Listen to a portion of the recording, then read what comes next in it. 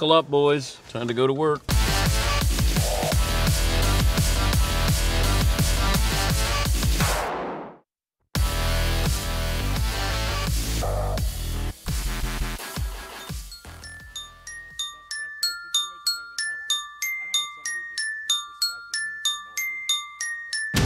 Welcome to the Dan Patrick Show. Give me a chance here. Go in, soak it up. Bring in Sal Paolantonio, ESPN's national correspondent. Bringing you the biggest guests and best interviews. I said, give me two teams that are going to surprise being better, two teams that will surprise by being worse than what we think. All right, let's go with the Pittsburgh Steelers. They have Minkah Fitzpatrick, Defensive Player of the Year candidate, without a doubt. They're going to make the playoffs in Pittsburgh. I think the Jets are a team hmm. that could put it all together very quickly under Sam Darnold. I think worse than we think.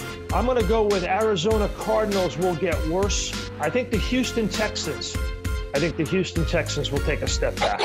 Broadcasting from the Mercedes Man Cave, this is Dan Patrick.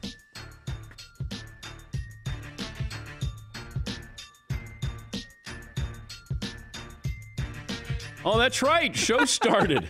I'm over there talking to Paulie. We're talking about last night, the last dance.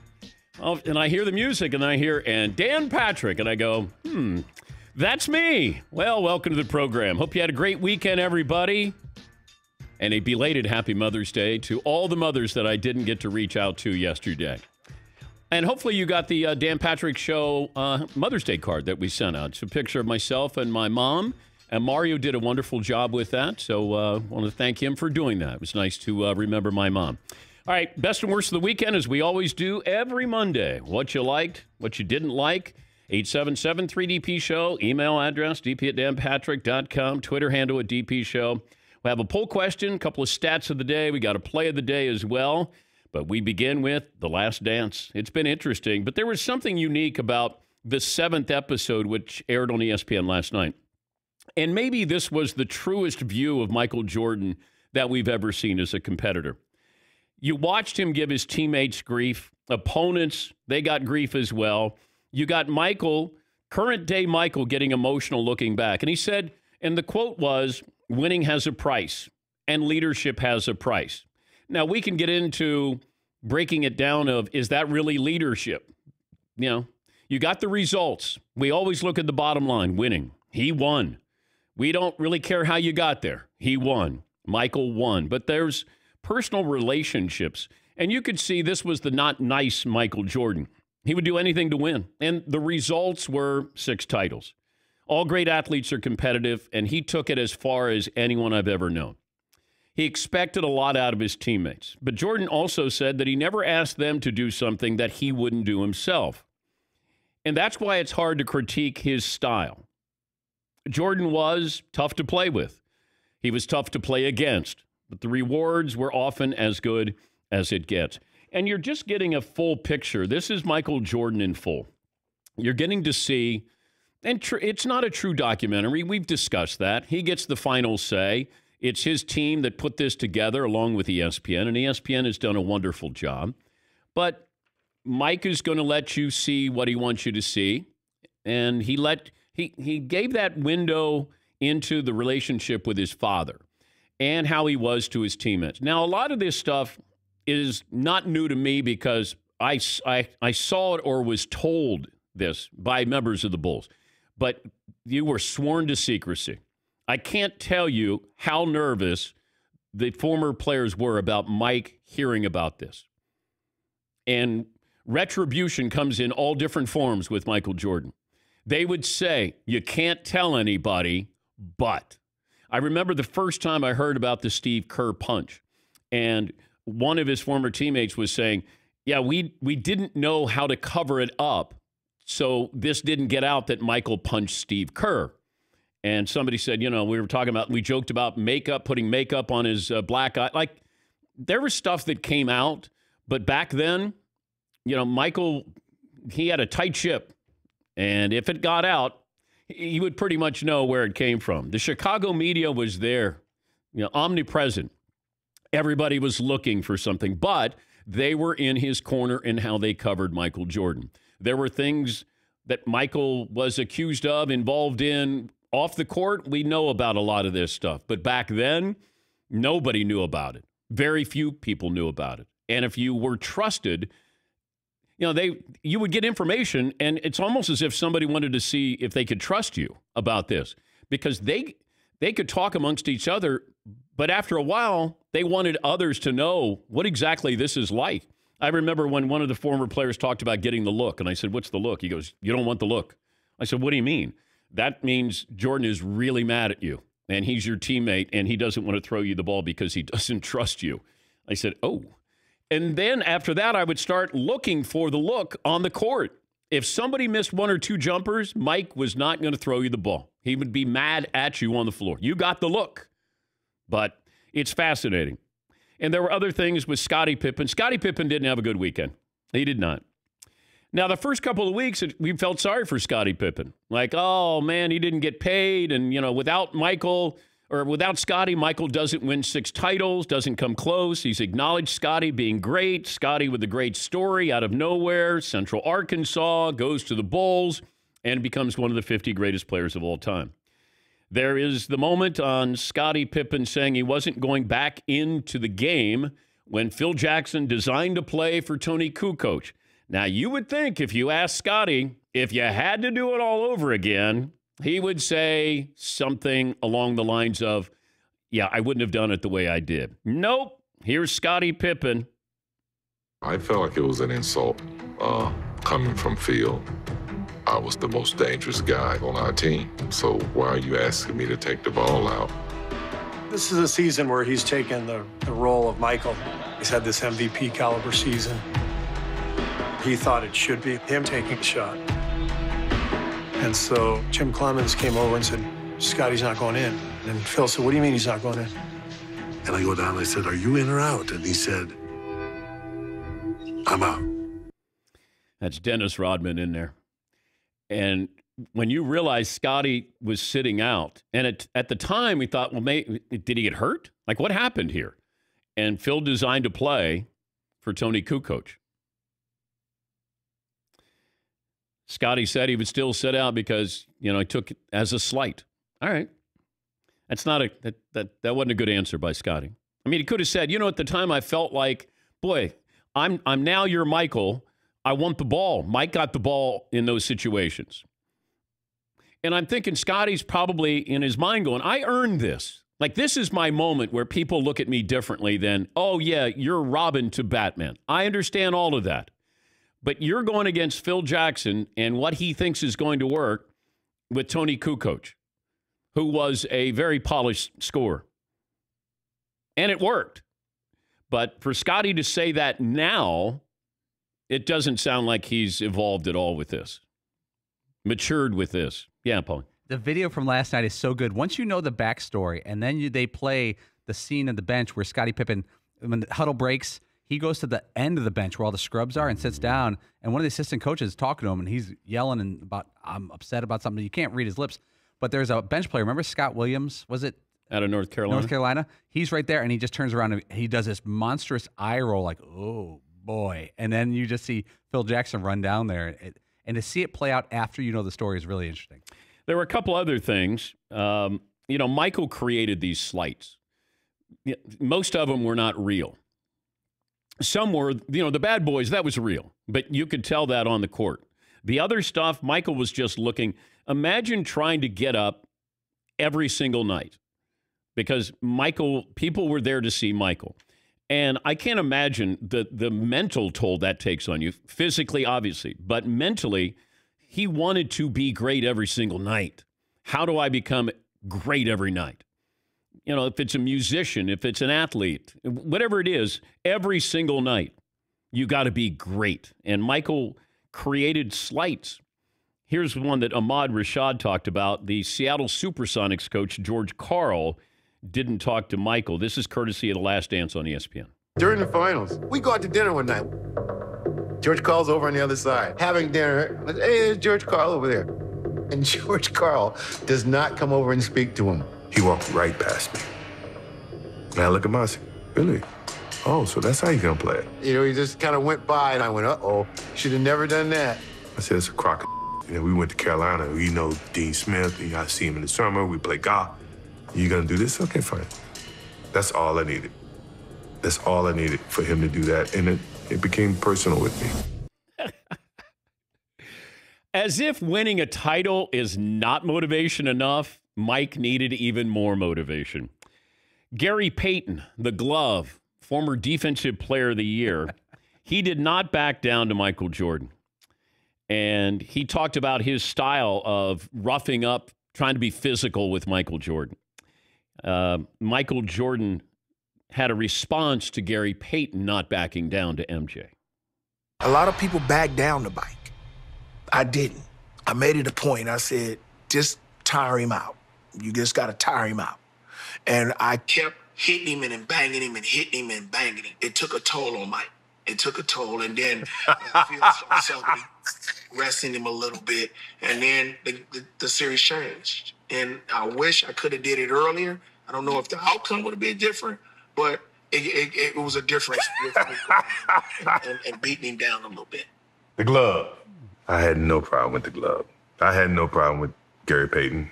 I had a lot of other things on my mind. now that's Jordan laughing. He's looking at an iPad there of Gary Payton's comments. Now, there's one thing I take away from this that it, it feels like it's always there every episode. Mike doesn't give credit to too many people. He'll give credit to Scotty, he'll give credit to Phil, but Michael's still competing. He does he needed to give a little bit more of an acknowledgement to Gary Payton because if you look at the three games that Gary Payton guarded Michael Jordan in those NBA finals, two of Mike's worst playoff performances ever were against Gary Payton. Gary Payton deserved credit last night. Not laughing. Not laughing. I thought that was BS. Give him credit. You, you get the feeling that it was Scotty and Michael, and nobody else gets any credit or deserves any credit here. We know Jerry Krause doesn't get any credit, but, you know, acknowledge Gary Payton deserved that. He's one of the great, you know, Hall of Famer. He's one of the great players, two way players. And he did not back down to Michael Jordan. You know, the game is over, Mike. You won. you you won. You won them all, Mike. There's no fifth quarter here. There's no overtime. You won. It's okay to go, you know what? Hey, I was tough on my teammates. You know, that's how I led. Okay. Uh, tough on the opposition. Okay. But respect. Gary Payton didn't walk off the court like the bad boys and not shake your hand. And poor LaBradford Smith, who probably was watching, going, wait, they just mentioned me. What did I do? The fact that he created this grudge against LaBradford Smith of the Washington Bullets because he said, nice game, Mike, instead of saying, oh my God, Mike, you're unbelievable. You're incredible. He, he said, nice game. Oh, I, I just can't imagine how tiring it must have been to be around Michael.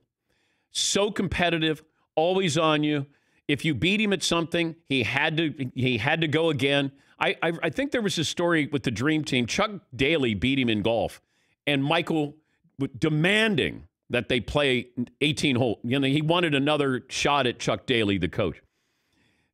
That competition, and if you've been around somebody who is highly competitive, it gets to be tiring. But look, his leadership back then, we admired, we acknowledged. Nowadays, if you were trying to get away with a lot of this stuff, imagine if LeBron, I know it always comes back to LeBron, but I think LeBron is unfairly criticized. I think he's the most critique athlete in history. He hadn't done anything wrong. Remember, he said he was taking his talents to South Beach. Kobe invented that phrase. Kobe, at his press conference, when he was leaving high school, says, I'm with sunglasses on his head said, I'm taking my talents to the NBA. LeBron says, Can you believe that? Taking his talents to. Imagine if the story came out that LeBron said, Kevin Love doesn't get to eat after a bad game. okay? Just imagine that. How, how many weeks would we spend on that? or those who are sycophants of Jordan and don't like LeBron James. You know, well, look at LeBron bullying Kevin Love. I mean, Mike did that to Horace Grant. Didn't let him eat. I mean, that's just one little story. If LeBron punched Kyrie Irving, I mean, let it, let it settle in here. I know Mike's the, the GOAT. Absolutely. But we let him get away with everything. We don't let LeBron get away with anything. Michael Jordan has become Babe Ruth. We allow Babe Ruth to get away with everything. Eh, hey, you went out on your wife. You drank all the time. You ate. You're a pig. You blah, blah, blah, blah. blah. Yeah, but the man, he called shot. Man, 700 home runs. Bryce Harper's hair's too long. You spend a couple of days on. I mean, come on. We can't pick and choose with this, and we've done that with Jordan. We we pick and choose or LeBron. Mike, everything about this awesome. Hey, whatever he does, he's awesome. Here's your numbers with Gary Payton. And this is why it, it, did bother me with the belly laugh that Mike had. 1996 NBA Finals versus Seattle. Games one, two, and three. Michael averaged 31 and shot 46% from the floor. Games four, five, and six, when Gary Payton guarded him, Michael averaged under 24 and shot 36% from the floor. That's not a belly laugh. That's not. Just acknowledge somebody might have gotten the better of you occasionally, Mike. This program brought to you by LegalZoom. No matter what happens, you want to make sure your loved ones are taken care of. That's why LegalZoom has made it easy to set up the right estate plan without leaving your home. Take care of your family today. The right estate plan at LegalZoom.com. And I acknowledge Jordan's greatness. People misread this. I'm just honest with this. I give you the facts. I, I'm not drunk with Jordan stories and stats and greatness. He is spectacular. But I have to look at this and be fair to the story. We acknowledge greatness when you win. I don't care how you got there. We acknowledge greatness. That's it. Bottom line greatness. I just think that we, we pick and choose. And certainly with LeBron James. And LeBron James doesn't need for me to stick up for him. But I do want to present the facts that I was there covering Jordan. And I've been there covering LeBron. LeBron went to the finals that first time, and I was there covering that. Like I've been there with these superstars. And you don't have to compare them if you don't want to. And maybe we shouldn't compare until LeBron's all done. And if you still want Michael to be better than LeBron, good for you. When you fall in love, that first love, and you, you stay with that. And that's what happened with Michael Jordan. For an entire generation, nobody could compete with Michael Jordan. We wouldn't allow it. Kobe, closest we've ever seen, we didn't even allow him in the conversation. And we should have. Because Kobe was my if if Kobe came before Michael, we would be talking about Kobe. Mike was the first man on the moon as I've told you. He's Neil Armstrong. There's never going to be somebody who got there before you. We've had Dr. J, we've had Wilt, we've had Bill Russell, we've had Magic, we've had we've had all of these great players. Michael did it all. He was a brand, became a billionaire. He won. Even the baseball part, that's why I applaud Tim Tebow. When you have status, now it's it's much lesser for Tim Tebow. Michael is the greatest athlete he, you know, the sport has ever seen. Greatest player ever seen. Whatever you want to, you know, your, verbal bouquets, pile them on. The fact that he would risk that reputation to go to play the hardest sport there is to play, and that is baseball. I applaud it. Now, Michael didn't have a good swing. It was a long swing, but he had athleticism. He hadn't played baseball in, in 12 years. And they put him in double A. And then he realized, as I realized when I was playing baseball, that damn curveball is just not fair. And Mike was great until they threw nothing but curveballs. But he did play. And, and he played at a pretty good level. And that's what I, I applaud that. If you truly wanted to do that and you wanted to, you know, do it for your father, then God bless you. And if it had nothing to do with gambling, Good. I hope it doesn't. I hope it didn't. But I applaud him for doing that. And he wanted to be great at baseball. And he was serviceable. And that's saying an awful lot. It really is. All right, we'll get to your phone calls. 877 3DP Show, email address dp at danpatrick.com. You can watch on youtube.com slash The Dan Patrick Show, and you can listen on the 362 radio affiliates around the country. 20 after the hour, we'll come back on The Dan Patrick Show. By the way, Reggie Miller will join us, and Phil Mickelson stopping by. Just getting started here on The Dan Patrick Show. Discover makes it quick and easy. Best of all, it's free. I got your attention with that free stuff, huh? How about checking your credit? Free. Discover is offering FICO credit scores, the score used by 90% of top lenders, and it's free, even if you're not a customer. Checking your score won't hurt your credit, and you can check each month for changes. The Discover Credit Scorecard, free for everyone. You can learn more at discover.com slash credit scorecard. Once again, Discover Credit Scorecard, free for everyone. Even if you're not a customer, learn more. Discover.com slash credit scorecard. Limitations apply.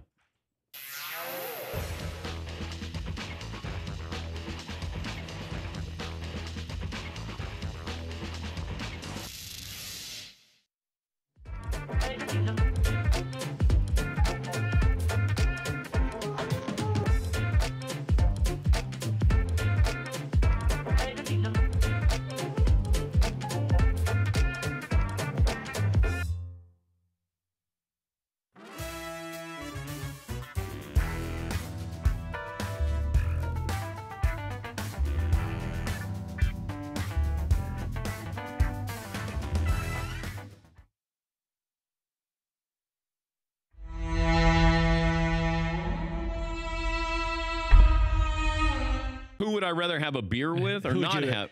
Who would you least want to have a beer with? Mar- uh, Marcus Mariota al- already won the poll, actually. Oh, he did. Yeah.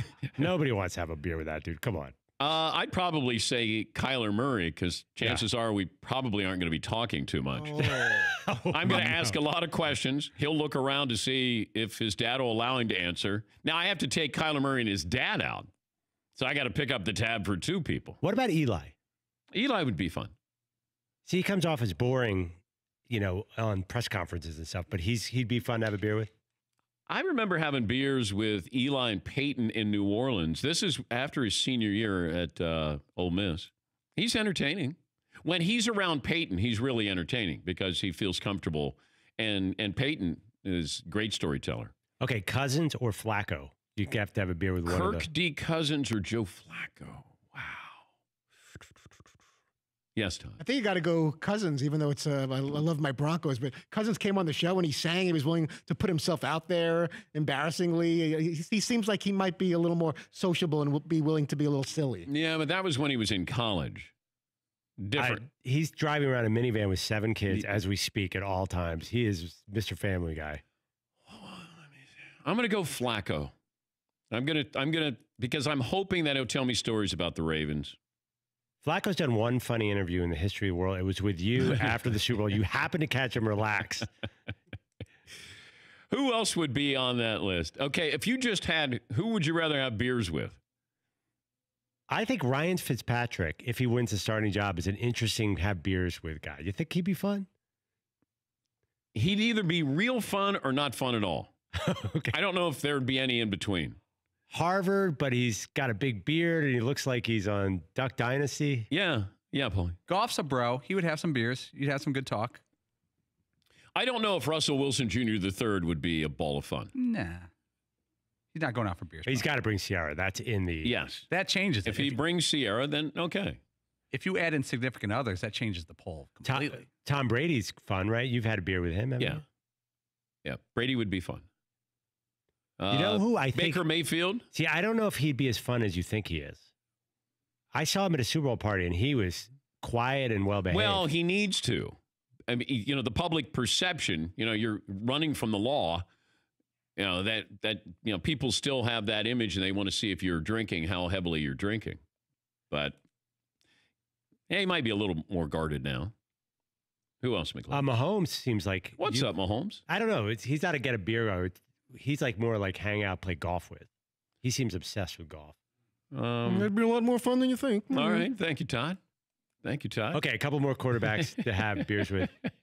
I'll give you Stafford, Rodgers, or Trubisky, the NFC North. I'd go Rodgers. Stafford, though, you know, Stafford would be a bro fun. guy. He's a yeah, nice he, guy. you know, hat backwards guy. I, I think Luck. Now I've been at, I've been out socially with Luck or um, with uh, Rodgers, and I and I think he's he can be sneaky funny. He's snarky, but it's there's always an interesting conversation going on. There's the you know he got a lot of opinions and and uh, but he's not afraid to jab a little bit. So I- Okay. Rodgers would be fun. I'll do the NFC South last one. Our buddy Matt Ryan, who we got a beer with uh, at Pebble, Drew Brees, Cam Newton, or Jameis Winston. I don't know. Jameis Winston, Ooh. probably not. Not this. He's got to step it up. James, Jameis shouldn't be having beers with anybody. Um, he might be the guy that I would just be curious. Like, how, how, I don't know how you tick. I don't know what goes on with you. Cam could be fun. To, he'd show up at the bar wearing something interesting, Yeah. possibly. Yeah. He's probably got good stories. Matty Ice, uh, Drew Brees. Breeze might be, you know, looking at the bottle, seeing how many calories are in there. he strikes me as, you know, Now, if you have Jimmy G with you, obviously that brings a whole new element that you'll have sort of women floating around your table. as, uh, as long as he doesn't bring the porn star out like he did in Beverly Hills. As long as he doesn't. Yeah.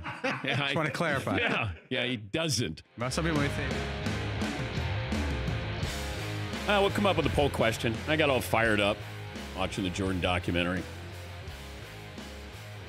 McLevin, you got a poll question today? Yeah, it's going to make you mad again.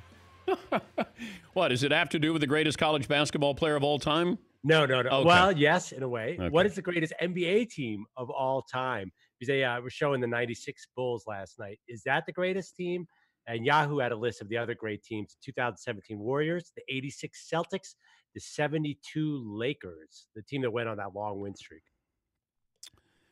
Uh, this is always tricky, you know, because there's no right answer here.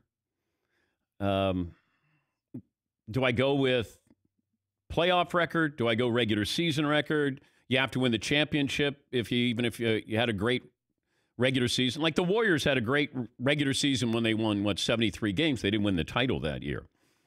Uh, the 86 Celtics, that was a deep team. Bill Walton was sixth man of the year. That was Bird, prime Bird, Bird in 86. Um, they were a great defensive team too, which people would never think with the Celtics. They were they were the best offensive rated team. They were third in defense that year. The 96 Bulls were spectacular. Uh, the 72 Lakers, who I got to see, you know, that was that was a, a really balanced team, and Wilt became a rebounder and a defensive player. He had a good backcourt there. Um, yeah, you you just can't. I mean, the the the Showtime Lakers were. I I know we get into oh, you know the um, the Warriors now with Durant, they would beat the Bulls in the night of the, the mid '90s. Like I, to me, it's fruitless to try to try that argument. Uh, it's just I'd rather enjoy what I saw because it's different now. It's just the game is played differently. If I put the Warriors of 2017 back in the 90s, you know, Durant and Steph Curry would be beat up. They would, and JaVale McGee is your big man. They would be going, Are you kidding me? That's your rim protector? You know, Shaq and Kobe. Whew. I'm just, I mean, as far as teammates go, that's pretty spectacular as well. So I, I'd rather not do that because I don't think there's an answer, a right answer in there. What else do you have? Okay. Uh, does the Last Dance make Michael Jordan more likable or less likable? and I was actually thinking of Seton's wife because she came with the Seton said last week that she's like, well, uh, this is a likable guy.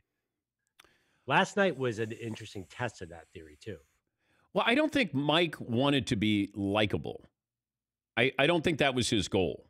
I I think he should accomplish. I think he wanted to be respected, uh, admired, feared, but liked.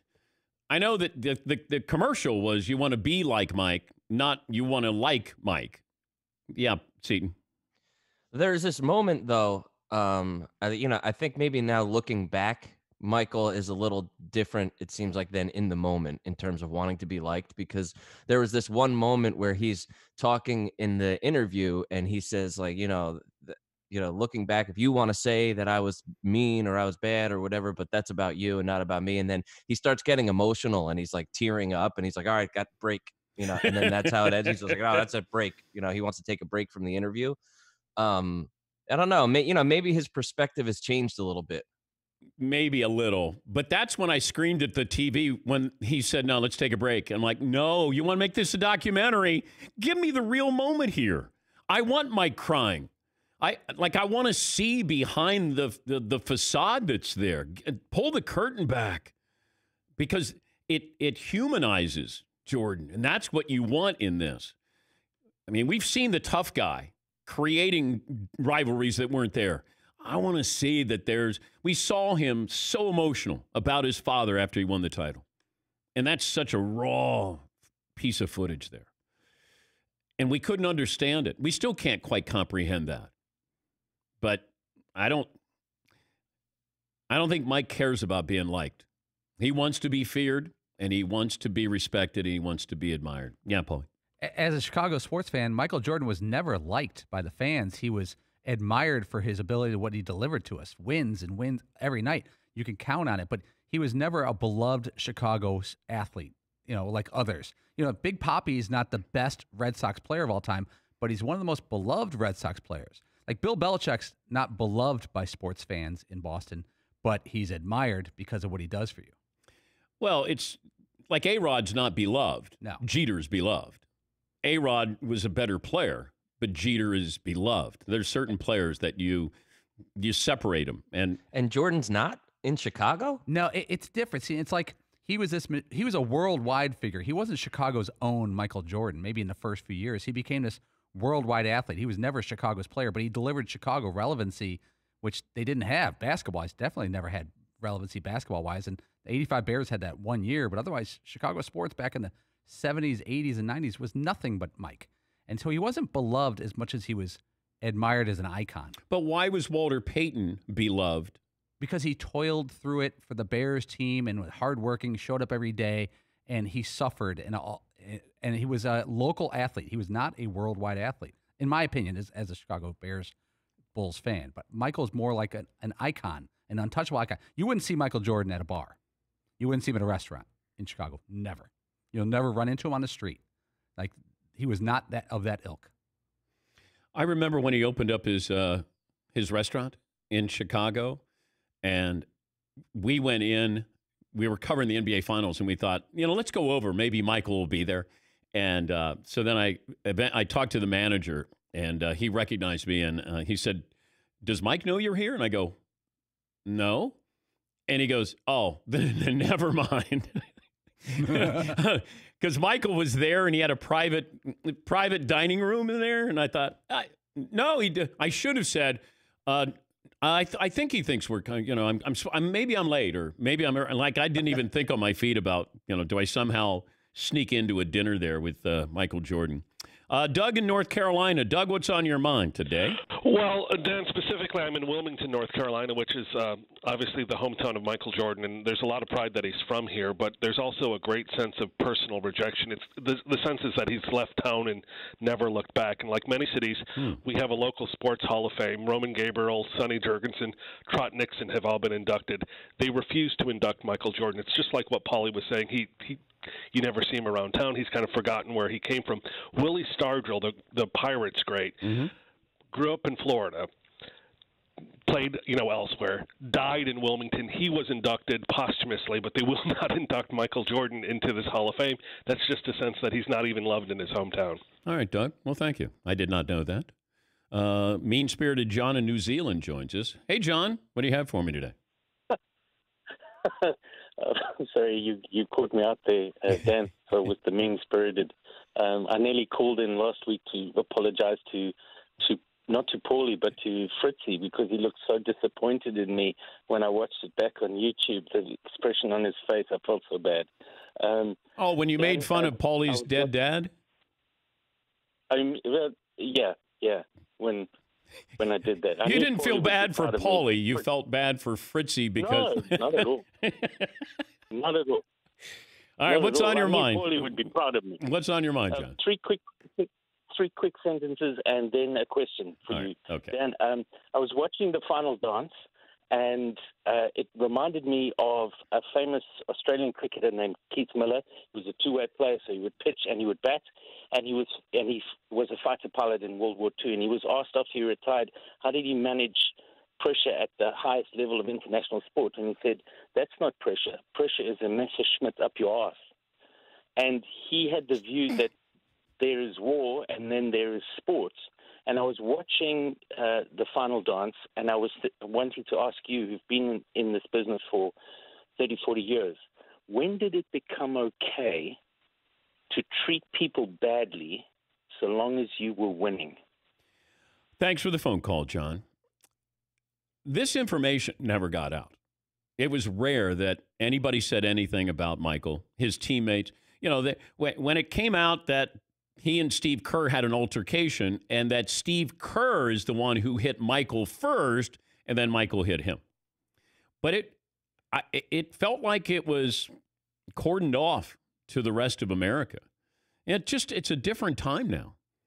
If if this happened now, by the time practice ended, maybe even not by the time practice ended, there would be somebody tweeting or a photo of this altercation or Steve Kerr's black eye. I mean, if everything is public consumption now, and it's right away. We need it immediate. Back then, you just sort of admired, and, and I go back to Mickey Mantle.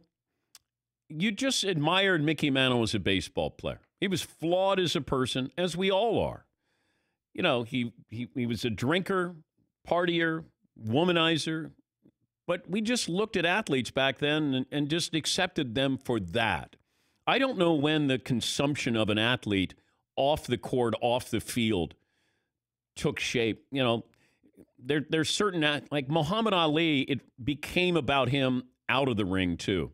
Uh, Kareem Abdul Jabbar, when he changed his name, you know, became then then they're people.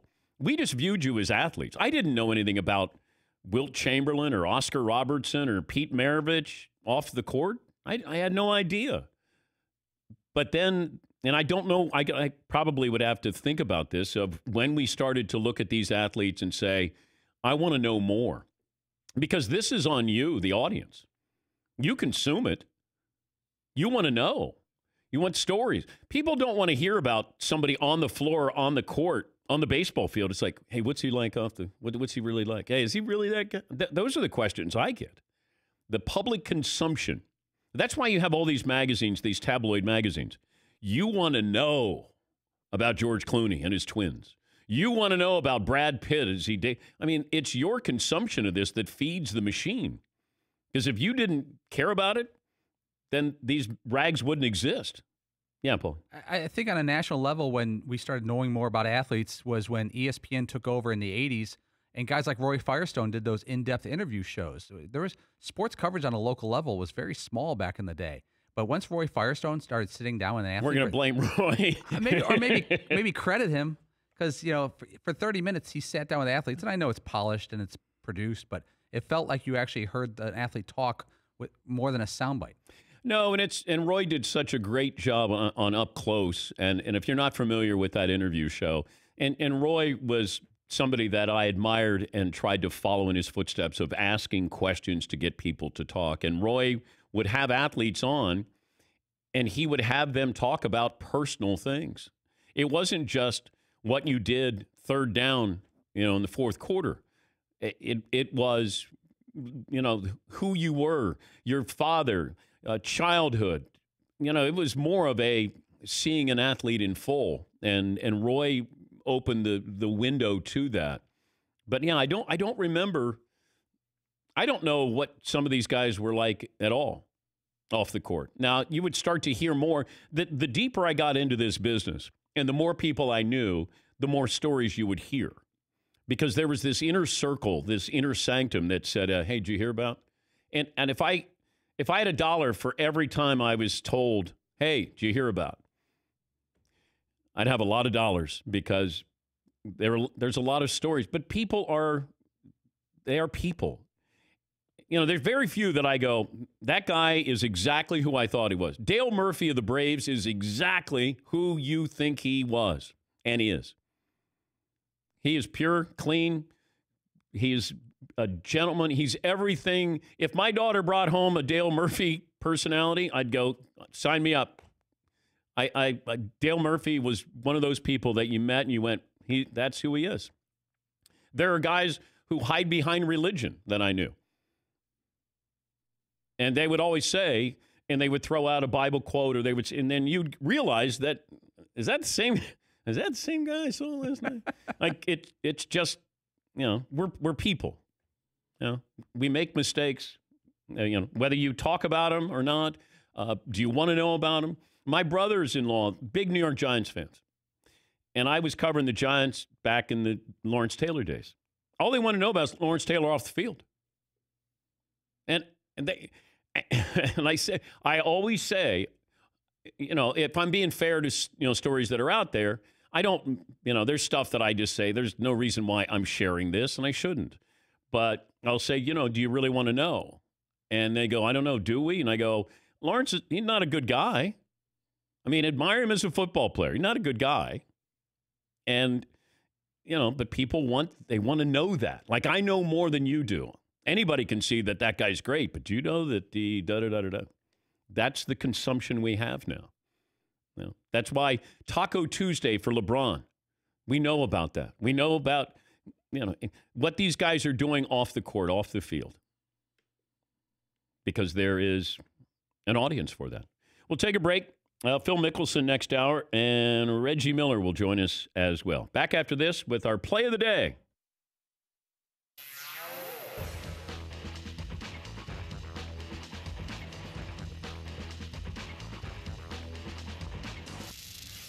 Dan coming in hot on a Monday with a huge iTeam Mother's Day report. I sent you guys a photo series our surveillance team had set up in uh, the toddler's household.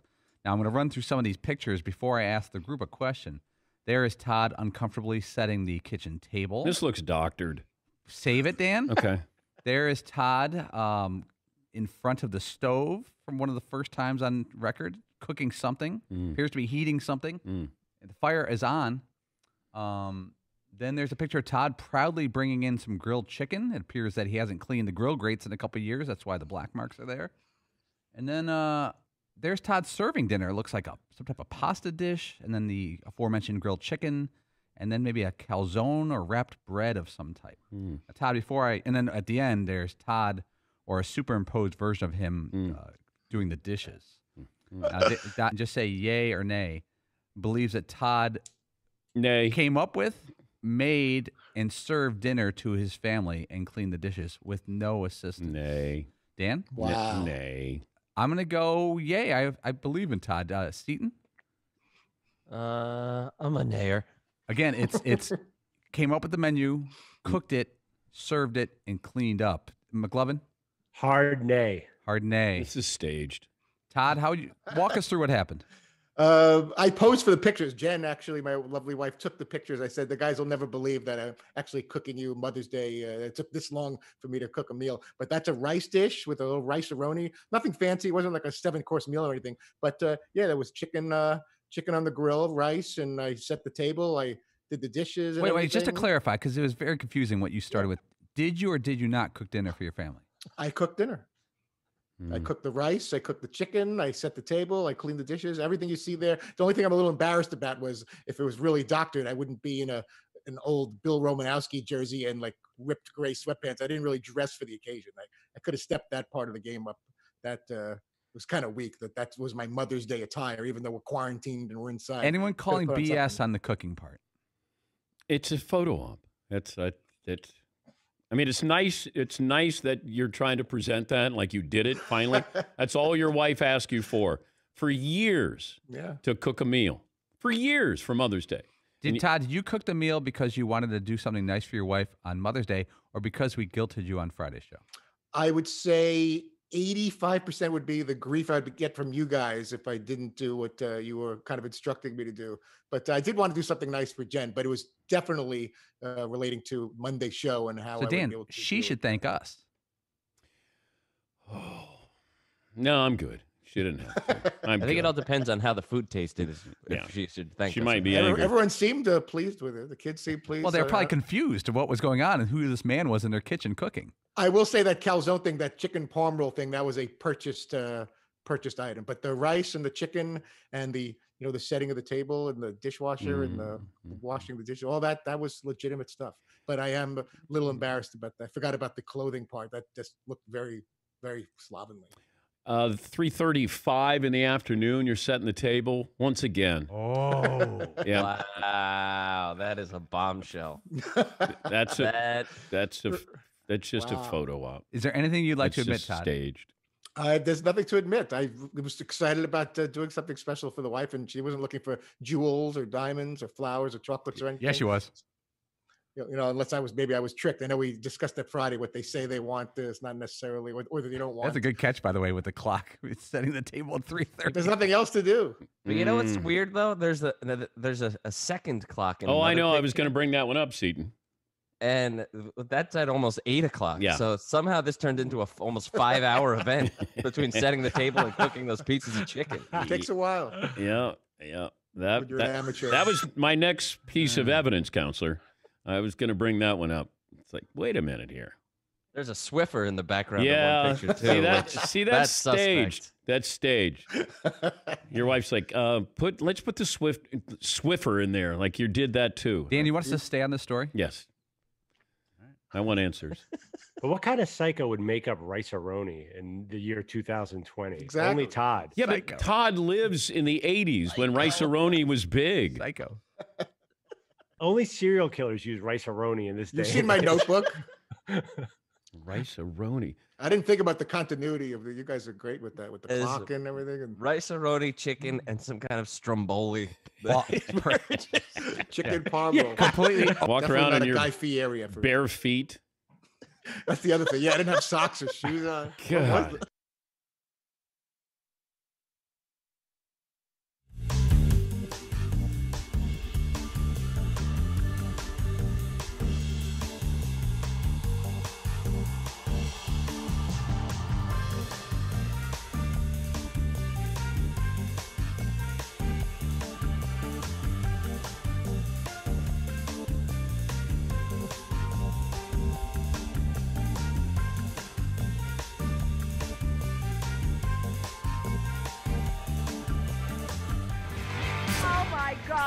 Play of the day. Runner left side, got it! They're gonna play it and play it. This is the play of the day. Check this out. Oh, oh, oh. Tony's oh. hurt. He's hurt real He's bad. real hurt. Oh, he's hurt Real bad. bad. They're gonna stop the fight.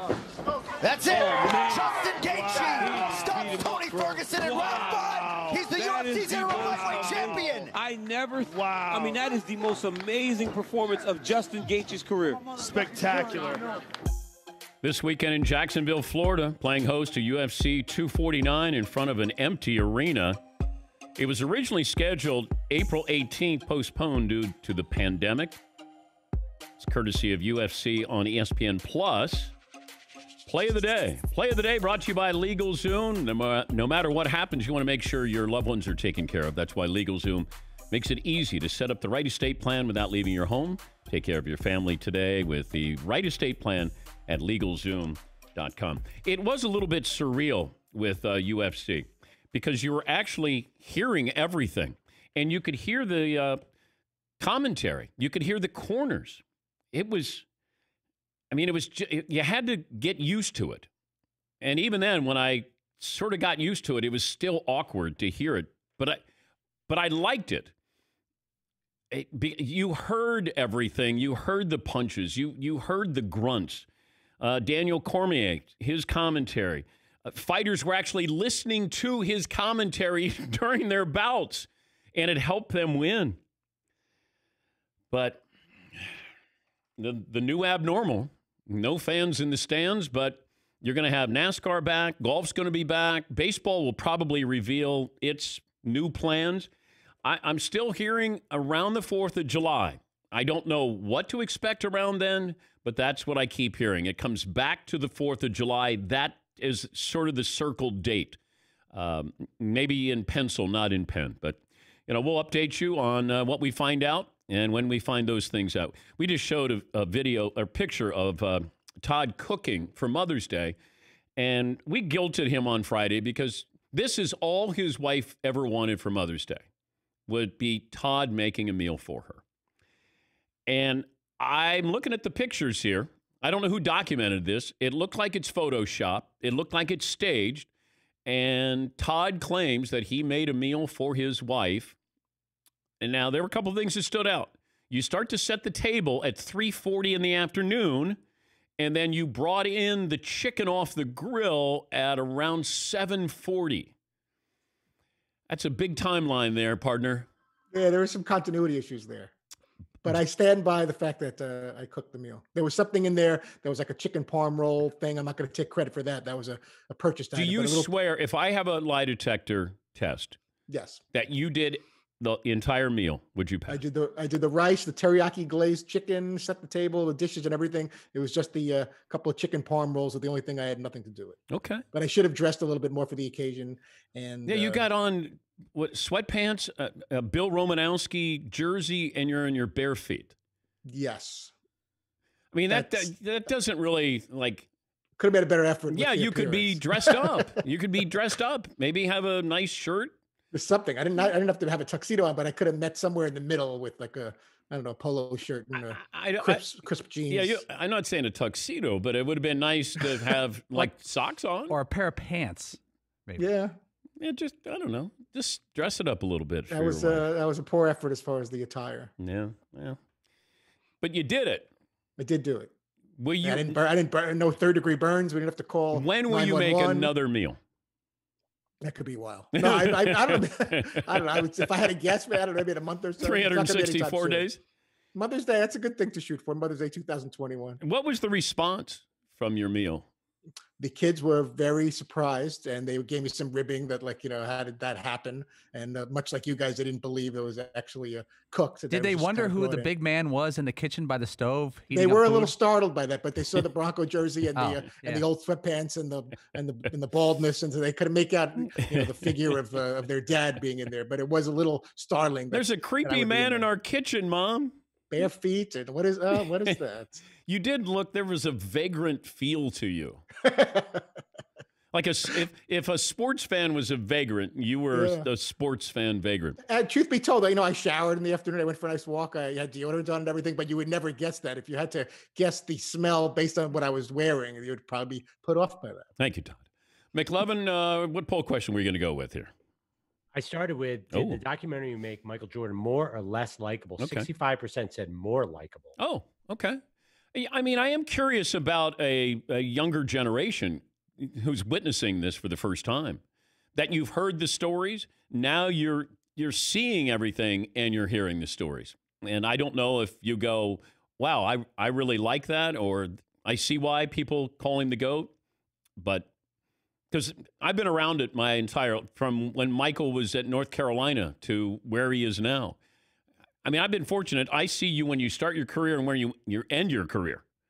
Uh, and with Michael, you know, when he even when he went to the Wizards, I, I still was fascinated with what he did, and even how he was doing it at that age. Because you had a lot of guys who were coming after him. Everybody wanted a piece of Mike because they wanted they wanted some retribution there. It was also pointed out to me that when you see how small Jordan can be sometimes, look at his Hall of Fame speech. Like you're the greatest of all time. He's roasting people up there.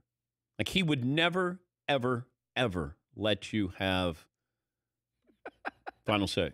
I mean, all of the, these are Hall of Famers. He's calling them out. Now, if somebody did that to Mike, I don't think he would take it anywhere near the way other uh, guys did that night. It was awkward. That's an uncomfortable moment. Yes, Eaton.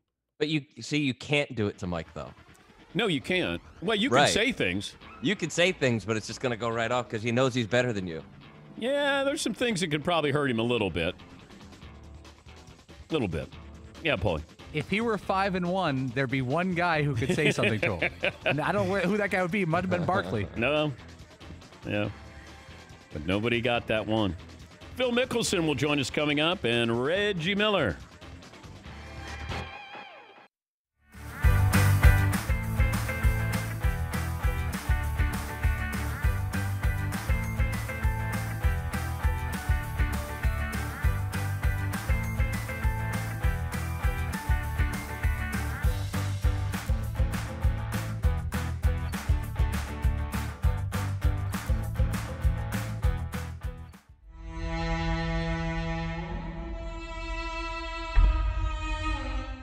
You know you were funny?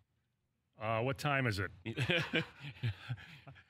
you know, like what age? I don't want to use the. Ti- I'm going to give you the typical answer is for a comedian is you doubt it all the time. You know, you you don't know. I just know I liked comedy, and I was I was drawn to comedy. I was a fan of stand up.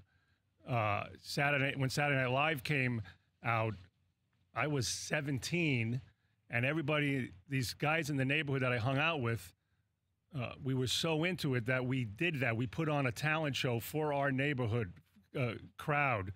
Um, it was called No Talent Incorporated. yeah. Um, so I was always a fan of comedy, and it wasn't until I got on the stage the first time in New York that I got the the bug of performing of stand up, and it never went away, and it still doesn't. I mean, stand up is still I lo- doing the acting and everything is is what I'm doing now. Uh, it's what gets me up and running. But in my core, I feel that's what I do. I'm a stand up. And acting is uh, one of the perks. Do you remember one of the jokes from your first stand up? I remember a bunch of them, and I will never say them here. What? Wait, because you can't? One, I can't. Two, it's horrible. They're horrible. I do remember. Um, yeah, oh, I, I, I, even this one I want to say probably I shouldn't, but again, this was go ahead, fire away. 25 years ago, and I was young and stupid, and it was making fun of the uh, written exam for your driver's license. The written, how easy it is. This is the first time I'm on stage, uh, so you got to mark on a curve here. Um, but I said uh, they have to make the the permit test. They they have to make that harder. You know, it's like uh, a blind person is crossing the road. You should a uh, let him go by. Uh, B stop and see if he wants to continue to cor- cross. Or C nudge him a little so he knows you're there. All right. And and that stayed in my act for about six months after that. Yeah. And then there are ones that are just I can't even believe I did those those jokes on stage. You know, they're just so wrong. Yeah. And unfunny too.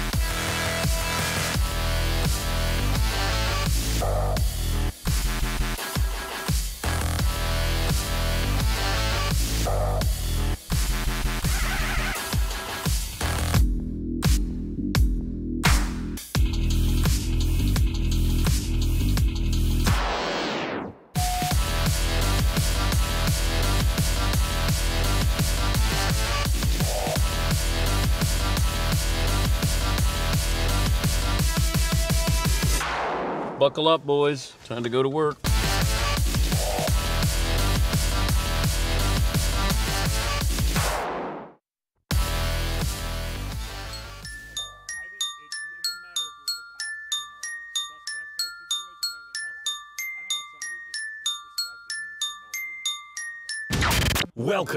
To the Dan Patrick Show. Give me a chance here. Go in, soak it up. Bring in Sal Paolantonio, ESPN's national correspondent. Bringing you the biggest guests and best interviews. I said, give me two teams that are going to surprise being better, two teams that will surprise by being worse than what we think. All right, let's go with the Pittsburgh Steelers. They have Minkah Fitzpatrick, Defensive Player of the Year candidate without a doubt. They're going to make the playoffs in Pittsburgh. I think the Jets are a team hmm. that could put it all together very quickly under Sam Darnold. I think worse than we think. I'm going to go with Arizona Cardinals will get worse. I think the Houston Texans. I think the Houston Texans will take a step back. Broadcasting from the Mercedes Man Cave, this is Dan Patrick. Hope you had a great weekend, safe weekend. Dan and the Danettes, Dan Patrick Show. Glad to have you on board. This is hour two of our program. Phil Mickelson will stop by in about 15 minutes or so. Reggie Miller next hour.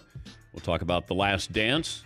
Reggie's moment is coming up, episode nine. But we'll talk to Reg about this side of Jordan that we saw. At least you got a little bit of a sneak peek behind the curtain, the emotional curtain with Michael Jordan. You know, he was tough. Winning has its price. Uh, this is the way he led on the Chicago Bulls. You know, you just, that's who he was. And he couldn't change, didn't change, and doesn't apologize for not changing. That's just who he is. And, and, you know, when, when you want to win an argument and you say scoreboard, that's all you need if you're Michael Jordan. Hey, you didn't like the way I was a team, uh, you know, what kind of teammate I was? Scoreboard. You didn't like what kind of opponent? Scoreboard. I mean, that's what this comes down to. But I do like that it's creating conversation about what we want out of our athletes. I was going to say heroes, but in this day and age, this time, what we're going through, they're not our heroes. There are other people who are true heroes. But you, un- you understand what I'm saying. You know, how do you lead? Well, you got to be tough on your teammates. You got to be tough on your opponents. You know, that's the way you lead. Well, you don't, and maybe we need more of that now. This winning is so important because there are times when you'll watch a game, you'll watch a player, and you don't know how important winning is because money is so big now. But is winning, does winning make a difference in your life? Michael became who he became as a brand because he won. Because if Michael ends up with 25,000 points and no championships, he's not Air Jordan. Air Jordan, that's a brand that means excellence. That means winning. That means championships. It doesn't mean, wow, look at those crazy highlights. Jordan became a brand because he won. Muhammad Ali became a brand because he won. There are guys who would could score. There were guys who were good boxers. I mean, you become a brand when you win. You know, Larry Bird won championships. He won three. Magic Johnson became a brand. He became a business. Like when you think of success, you think winning, and Magic won on the court and off the court. You know that that's important when you're establishing this. And I don't know how important winning is to today's athlete. I know what it was like before but I, I have my questions about today's athlete. How important is it? If I'm making $40 million a year, how important is winning? How important is that offseason?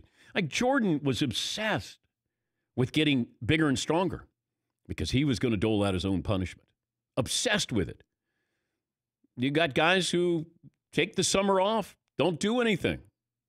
There are other guys who they're obsessed with this. This is all they think of. And Jordan was that guy but he could never turn it off. Whether it's cards, whether it's golf, certainly basketball. That's what you see with Jordan. And there were some moments last night, you know, Scottie Pippen saying if he had to do it all over again, he wouldn't have gone back into the game. This is, you know, after Jordan had left, and Scottie thought he had. And I understand what Scottie's saying. Hey, I've earned this. I waited. You know, I learned from Michael. This is my moment. He's not here. And you're going to let Toni Kukoc take the shot? And then for Scottie to say, well, this is what Scottie had to say about that moment. I felt like it was an insult uh, coming from Phil. I was the most dangerous guy on our team. So why are you asking me to take the ball out? This is a season where he's taken the, the role of Michael. He's had this MVP caliber season. He thought it should be him taking the shot. And so Jim Cleamons came over and said, Scottie's not going in. And Phil said, What do you mean he's not going in? And I go down and I said, Are you in or out? And he said, I'm out. Wow. That's Dennis Rodman. Steve Kerr, Dennis Rodman in there with Scottie Pippen. I understand it's a slap in the face. You have earned that moment. By the way, Kukoc hit the shot. But and that helped save Scottie. I think. I actually thought it made it worse. What if if Kukoc misses and then Scottie can say, "I told you, you Well, should have had." Yeah, maybe. Kukoc hit the shot. Everyone's running to hug Kukoc, and Pippen is way off in the background, Yeah. sauntering onto the court. Yeah, yeah. You might be right. Might have you know might have gone the other way, but you give Scottie the chance to say, "Look, I earned the right." You know, I understand what Phil did and Toni hit the shot, but in the moment, I wanted people to understand. I was gonna. I had to live up to Michael Jordan. This is what Michael does. This was my moment. I'm taking this team. We won 57 regular season games. We're going back to the NBA Finals. This is my moment. And he never got that moment. And then they ended up losing in the Eastern Conference uh, Finals Game 7. But I get it. But Scottie, you know, fast forward to today, you got to have some perspective on that to say, you know what? Phil's a Hall of Fame coach. I should have trusted him. He was doing what was right for the team. Scottie thought he was embarrassed because we're not going to design a play for you. Hey, thank you for all the things you do for this team, but in a big moment, we're not going to you. And, and so I, I understand what Scottie was probably processing. But to talk about it now, that's where I thought he would go, yeah, I should have been in there. And it's a team sport. Uh, Michael didn't get every shot. John Paxson hit a big shot. Steve Kerr hit a big shot. Wasn't called for him. It wasn't called Well, for Paxson. The Steve Kerr play was. How so? Like Michael's in the huddle, and he says, "You're going to be open." And he knew that he was going to be doubled, and and so Jordan called Steve Kerr's shot, and I he said, "Look, you're going to be open, and I'll, and I'll I'll hit you." Paraphrasing here. All right, welcome to the program. We'll get to phone calls here. Best and worst of the weekend. What you saw that you liked, you didn't like. UFC did what it promised on Saturday night, delivering a live sporting event. After almost two months of nothing, MMA fans got a chance to see a card that delivered in a big way. It's not a return to normal. This I, I keep saying it's a return to you know abnormal because this is a one night event, and and you're you have two individuals in the cage. This isn't a team sport because if it's only two people, okay, scale it down. If you can get testing, great. But if if you got you know 24 basketball players who at some point will be on the court, I got three referees in there. I got assistant coaches. Okay, you're just doing the math there. And all it takes is one positive test. That's it. UFC and WWE, that's different. It, it, if this is the NBA or baseball, football, you know, it's different.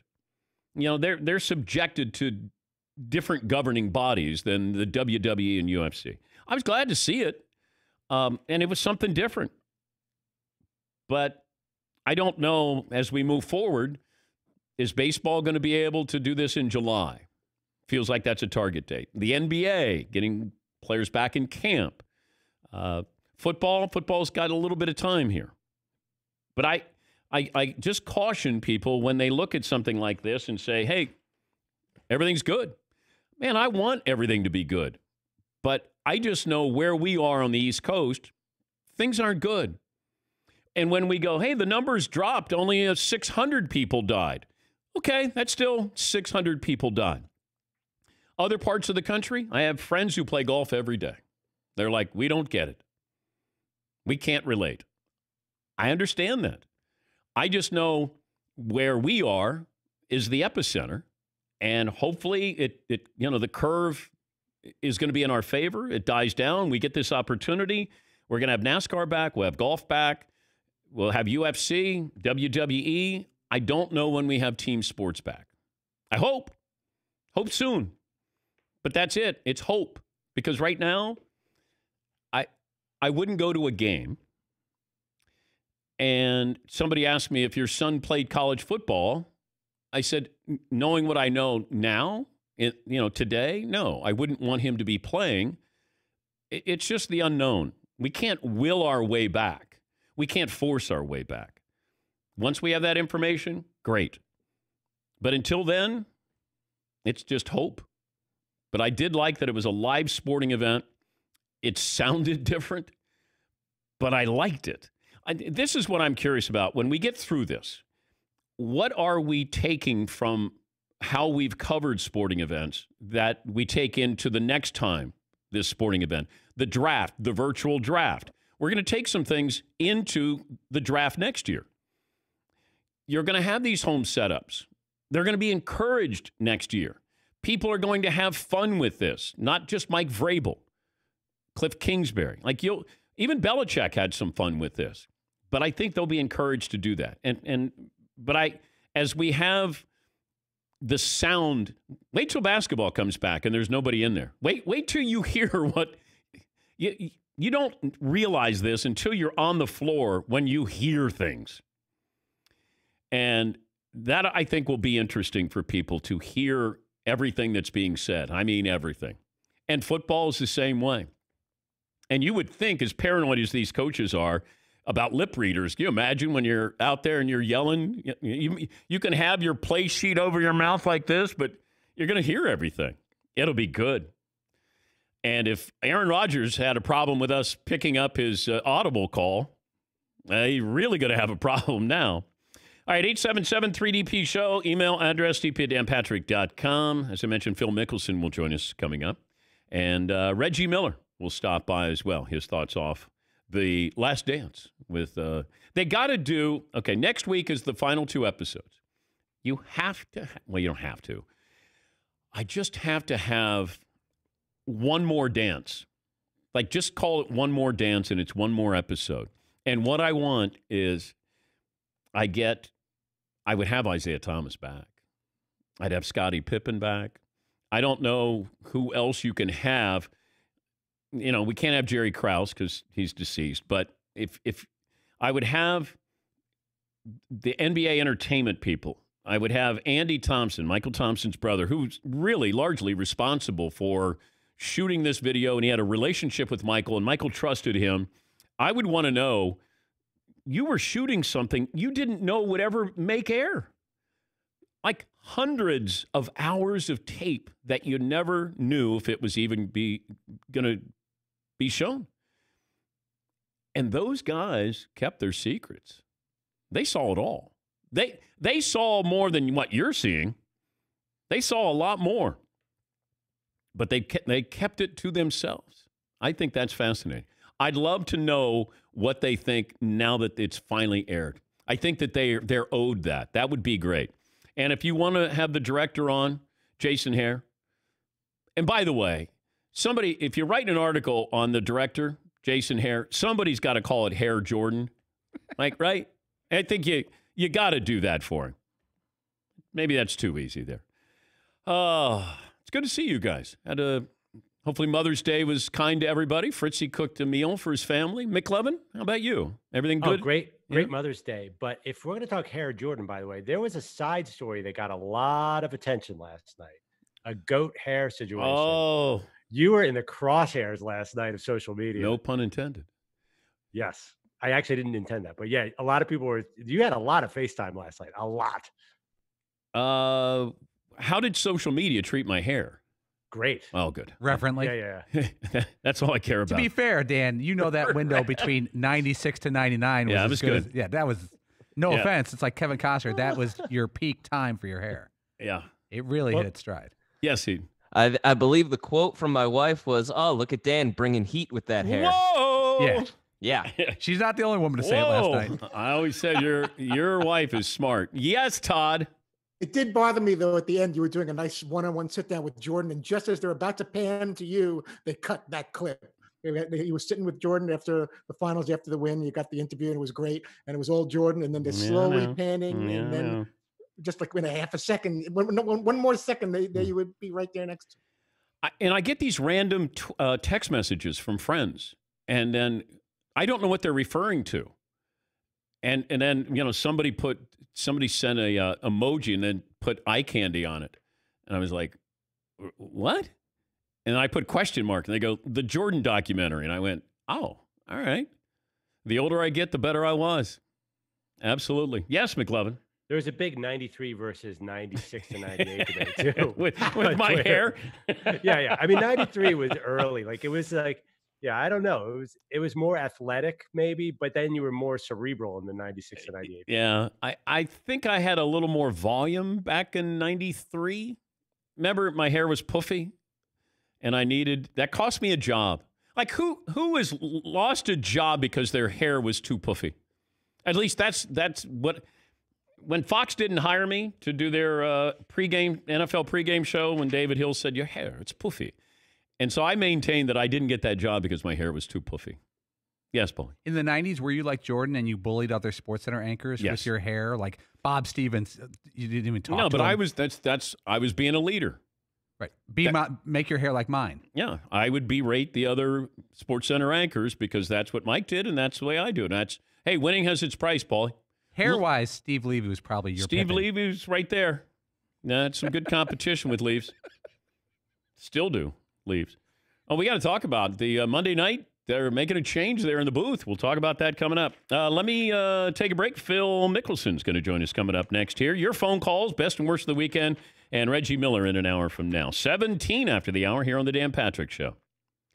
SimpliSafe Home Security. Longtime friends of the Dan Patrick Show. SimpliSafe has made it easy to get comprehensive protection for your home. There's no technician, no salesperson. You don't have to let anybody in the house. And when you get SimpliSafe, nobody's getting in the house. You don't need monthly fees, there's no contracts to sign. Everything is there for you. You order online, you set it up in an hour or so or less, and your home is protected 24 7. It's going to be about 50 cents a day. That's it. They haven't raised their, I don't think they've raised their rates since we've known them. I think it's been $14.99 a month. Right now, when you uh, head to simplisafedan.com, my listeners will get free shipping, 60 day risk free trial. So it's simplisafedan.com. Make sure they know that our show sent you. SimpliSafe. Wishing you safety, good health. Go to simplisafedan.com and tell them we sent you.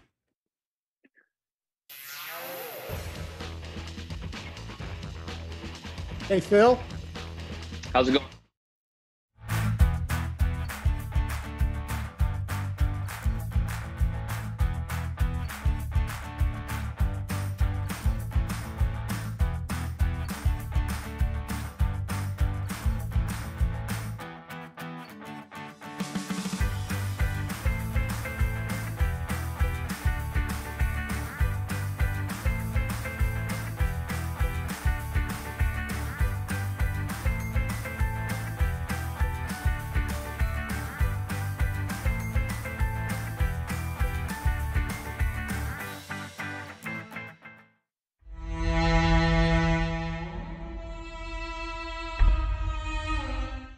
Guys ever have any friction when you played against each other? I didn't have friction with him. I had friction with Vlade, because Vlade was the instigator. He he was always talking and flopping. Me talking about flopping, Yeah. but flopping. So it was Vlade that I had problems. I never had problems with C. Webb, especially those great Sacramento teams. Yeah, I, I was I was a big fan of Reggie, but I didn't like him because he was always beating our teams. You know, like he was the catalyst. You know, I knew he was the one that's gonna be talking junk, getting in the guys, and so he was a guy like you always wanted to play with. But when you're playing against him, you just hate him. He's talking junk. You saw what he did to the Knicks. You see him kicking out. This is the human kickstand I've named him because when he shoots the three, all that, that leg stuff that he complains about when we do games, Yeah. yeah he, he might have helped Because invent all that. we were just talking about Dirk Nowitzki. Should that be legal that he lifts that knee up? And I mean, it, so he creates separation. He's seven feet. I mean, it's he's unstoppable when he And gets. And Durant has it now. Yeah. Yeah, but he can't do the knee. If, if I'm up on Reg like this, you can't just knee me. So you already have to have that space. So Dirk, one of the greatest scorers ever, he does that after he has the space. So it's not as unfair. He's not maybe. creating the space. He's just keeping the space. Yeah, exactly. Yeah, he's not giving you the knee and pushing off. but know? but Reg use it as a weapon. Oh yeah. Oh, or he would I, trip you. I used to love yeah. tripping and leg whipping people. I used to love leg whipping. Oh God, I, it was like a joy to me. I think you're gonna run out here. I'm gonna. oh, it was the best. But then you would draw the foul too. Yeah, look at you, dummy, you big dummy. And then he he go there. How many times did you bounce the ball? Seven Six. or eleven. 11. Six. six. And you bounce the ball and you get real low Shoot. and hit the free throw. It, it, it really Go get Rosin. off, yeah. Go All back. this pageantry while he's doing it. Let alone he comes out doing a Michael Jackson, you know, every game. but Vlade probably created a lot of situations oh. that his teammates had to clean up for, right? Now, let's just think about it. The, floppy flopping came in through the European player. A thousand percent. Why? You see soccer? Yeah. you see this stuff in soccer. This is the worst flopping in the world. Yeah. With Vlade, Sharon, it's all these guys brought over because during practice they're actually playing soccer. So they brought that culture over. And Reggie did it where, you know, maybe you bump him once or twice, and the third one is a fake Gotta flop. sell it. These guys would just come over to you. you and- gotta sell it, right? You gotta Yeah. sell it. and I would always say to Vladi, man, we got to chill with the flopping, man. We're not going to get respect. With Shaq coming in now, they don't know if it's a charge or not. We gotta, Vlade, Vlade would have played for Duke. oh, oh, yeah, yeah.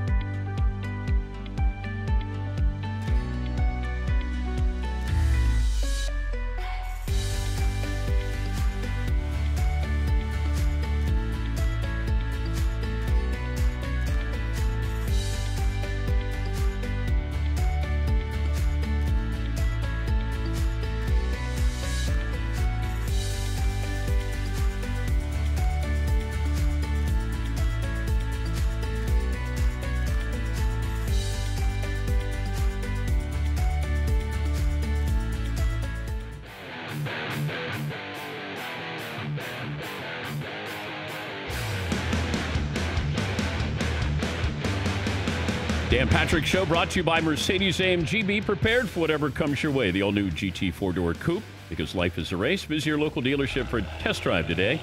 If you miss any interviews from the Mercedes AMG Man Cave, go to the Dan Patrick Show app where you can watch and listen.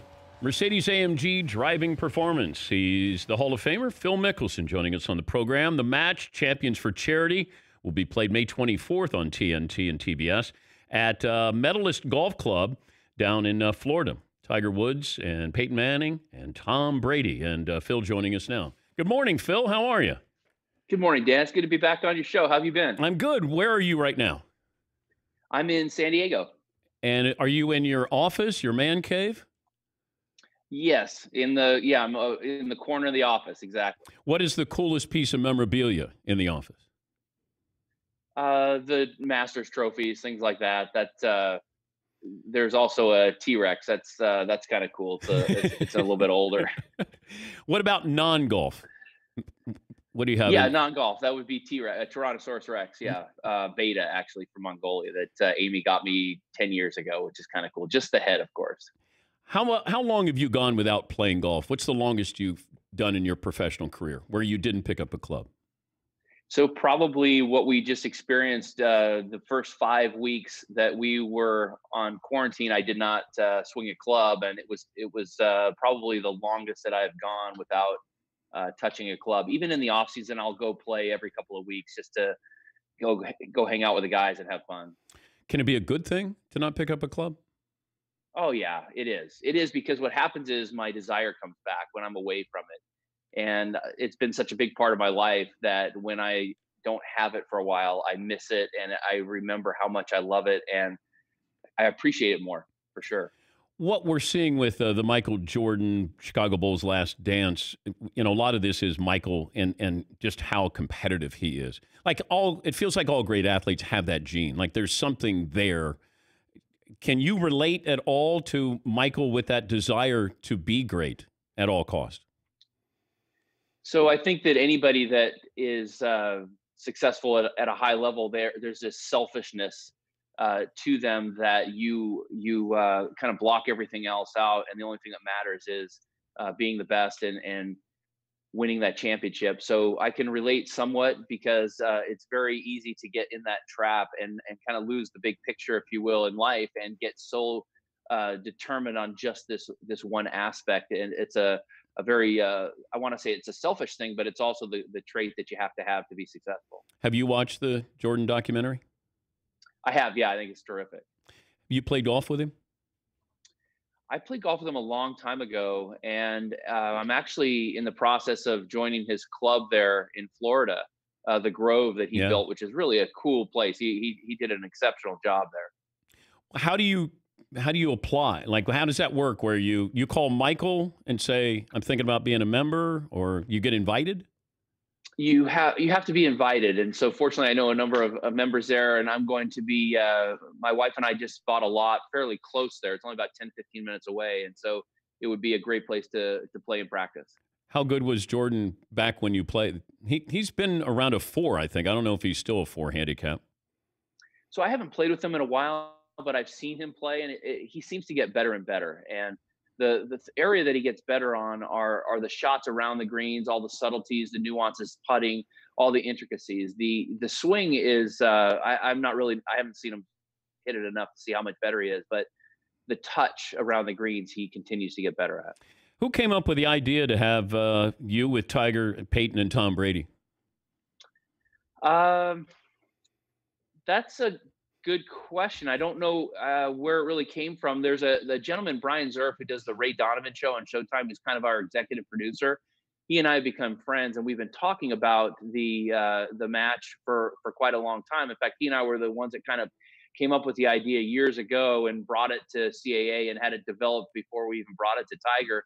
And he's very he's got a very creative mind and thought that the interaction between uh, two other players and as a partner was going to be an important part of improving our match because when Tiger and I came down the stretch in Vegas, we clammed up. We didn't talk. We didn't communicate. We we we tightened up, and we needed a partner there to to get something out of us. And so because we won't have caddies, uh, Brady and I will be talking about each shot, club selection, win, break, and so forth. It's almost like I'll be his caddy, he'll be mine, and we'll be feeding off of each other. And so you'll hear a lot more interaction. Plus, the fact that Brady and Manning, especially, is such a good smack talker, it will be entertaining because of that. You know, he is so funny in the way he delivers his lines. Manning is that you he- elicits a response of laughter rather than a defensive response, which a lot of times when you're when you're cutting somebody up, it, you, it can come in a little a little hot and you can get defensive. and Manning does such a good job of making it funny.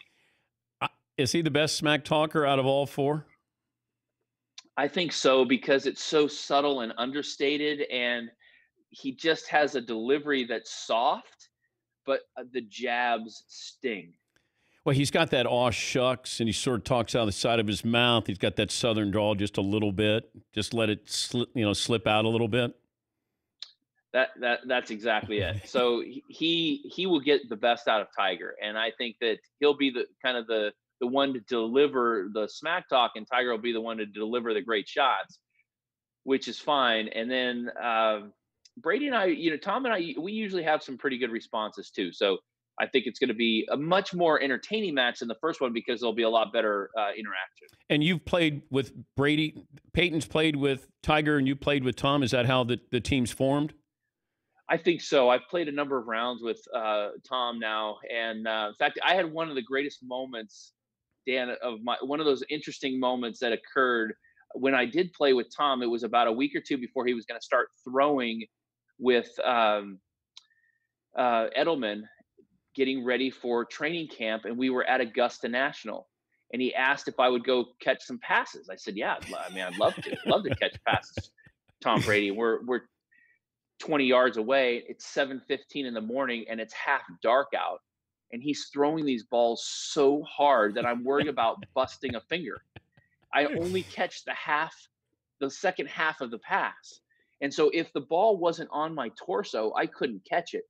It would if it was off to the side, I would I would end up missing it. And I was so cautious about bending my fingers in a way, you know, having them so that I don't jam a finger. If there were three times that a ball hit the palm that it got through my fingers and hit the palm of my hand, and all three times I had a nerve shot go right up my arm. And I thought that's got to be so hard to be running full speed with a helmet on, bobbing up and down, and have these balls coming in with such heat and grab them. It, ha- it gave me a new respect uh, for how good those guys are. But that was one of those unique moments that I kind of look back on and laugh and cherish because who gets to catch passes with Tom Brady at Augusta National at 7:15 in the morning? But imagine if he breaks your finger. And, and somebody says, Oh, how'd you break your finger? Uh, Tom Brady threw a pass at me. Yeah, so that would that would uh, That wouldn't be good. Could be looked at either way, but it was two weeks before the Masters, so I didn't want to miss the Masters because of that. Single toughest golf course in the world is where?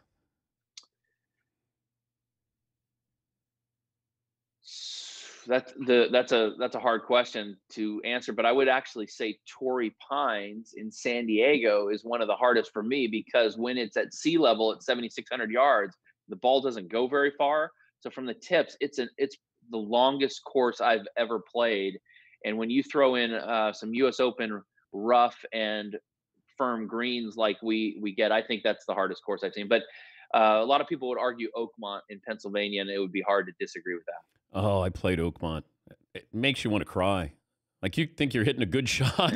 I mean, like you guys play it when the greens are really fast, when the conditions are really difficult. And I played and I went, I, like it was a slugfest. Like I was drained when I got through. I didn't enjoy it at all. It's beautiful. I just didn't enjoy it. So I would agree with that. Is that hard doesn't always mean better or fun.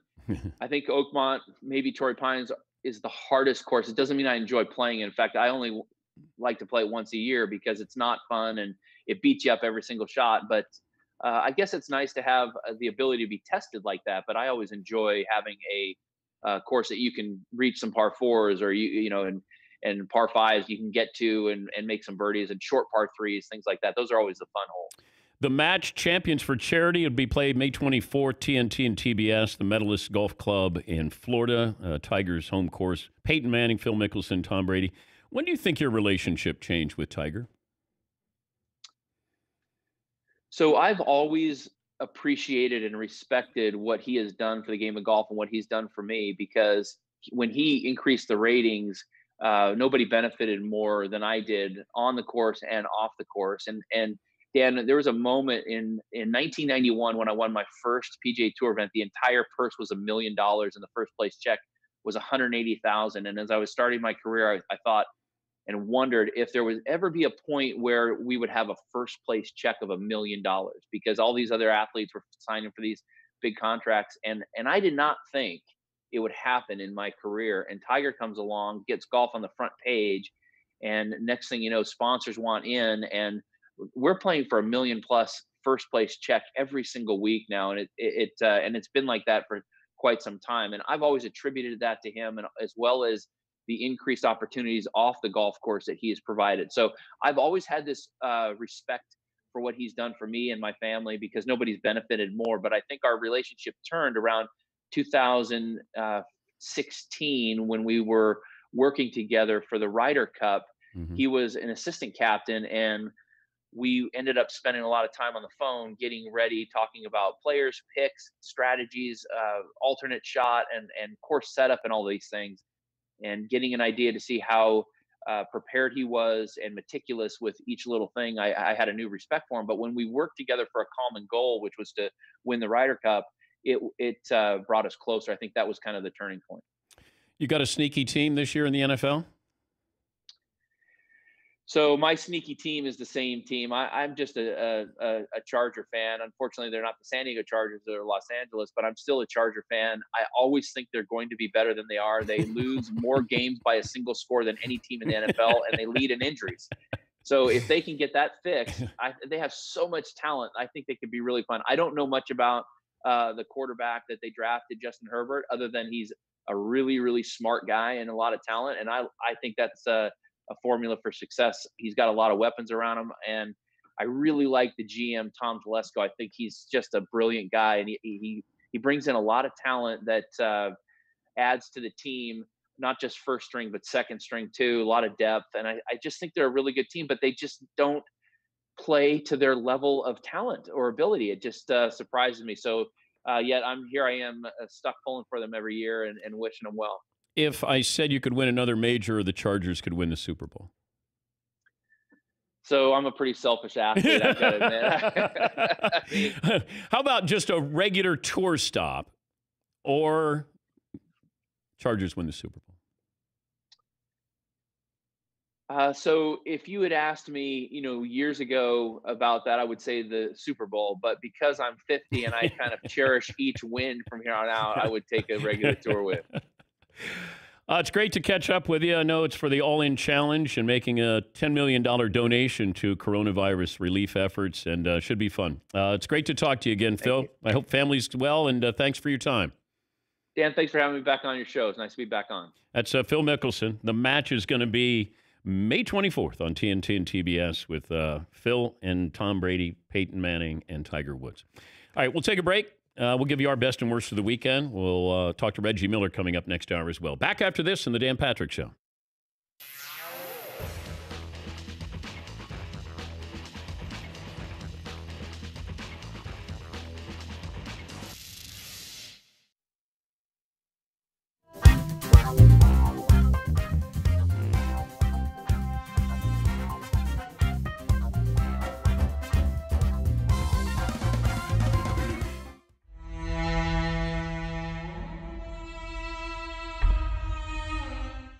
First team all club when you played? First team. Oh well, Rodman. He's probably CEO, right? Yeah. Okay, I would go with Rodman. Um, first team all club. Did you ever smell alcohol in Rodman? No. Okay.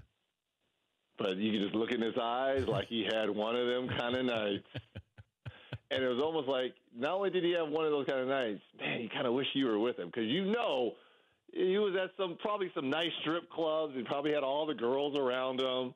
Dude partied hard, but he played harder on the court. Reg, So you he got it done. I don't think you could have hung with Rodman. No, I know I could. You wouldn't want to hang with Rodman.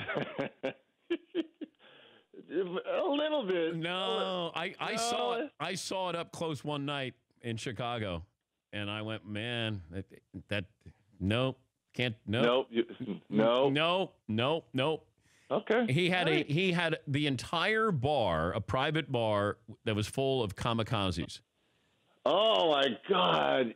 I think I just threw up in my mouth. And every Oh. time you went to get a beer, he made you do a kamikaze every single time because he was controlling the bar tab. And he's like, bro, he kept, he'd always call me Sager. He'd go, hey, hey Sager, Sager, do, a, do a shot. So I'd do a kamikaze. I'm just getting a Budweiser there. And, and, and he had his arm around a guy and a girl with a pol- Chicago police shirt on. And I, who knows what happened after that? I, I, I just know that Dennis did not get cheated that night. Uh, yeah, Yeah, you're right. I don't- you don't want that. I cannot. No, I don't want that. By My way- liver does not want that. Rodman's best game ever came against you guys. What were his numbers? March of 92. Rodman had 34 rebounds. While a member of the Bulls or a member of the Pistons?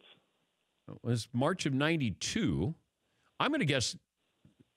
Uh, or was he with uh, he, the he was, Spurs? he was with the Spurs, and he, yeah, he had 34 rebounds when he was with Spurs. Oh my God! Come on, uh, Dale and Antonio Davis.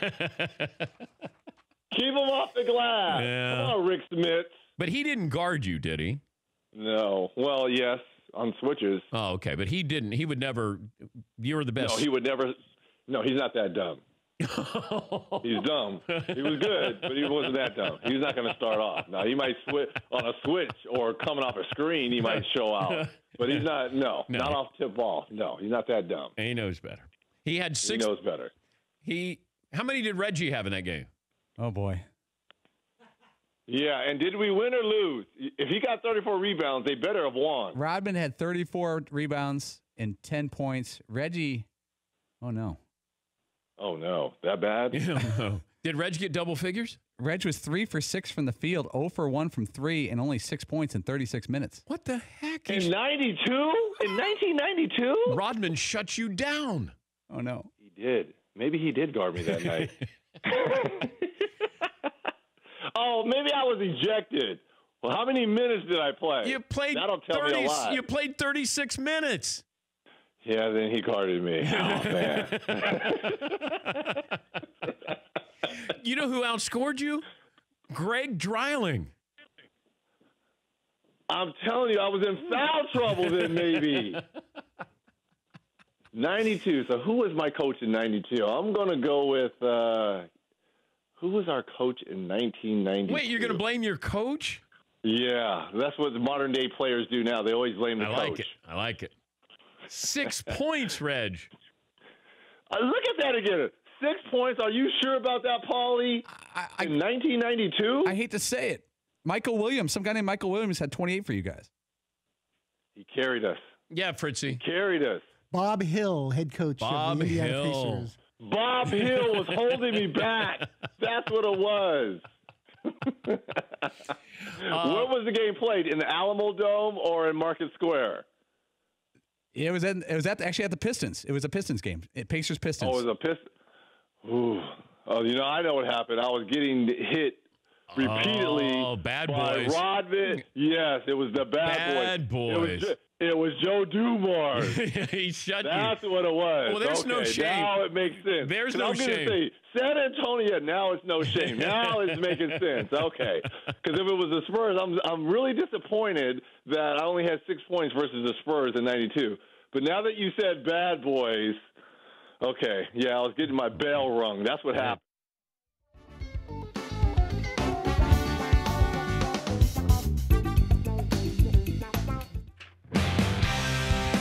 Best and worst of the weekend. I'll give you hours. Let's hear from Greg in Illinois. Greg, best and worst of the weekend.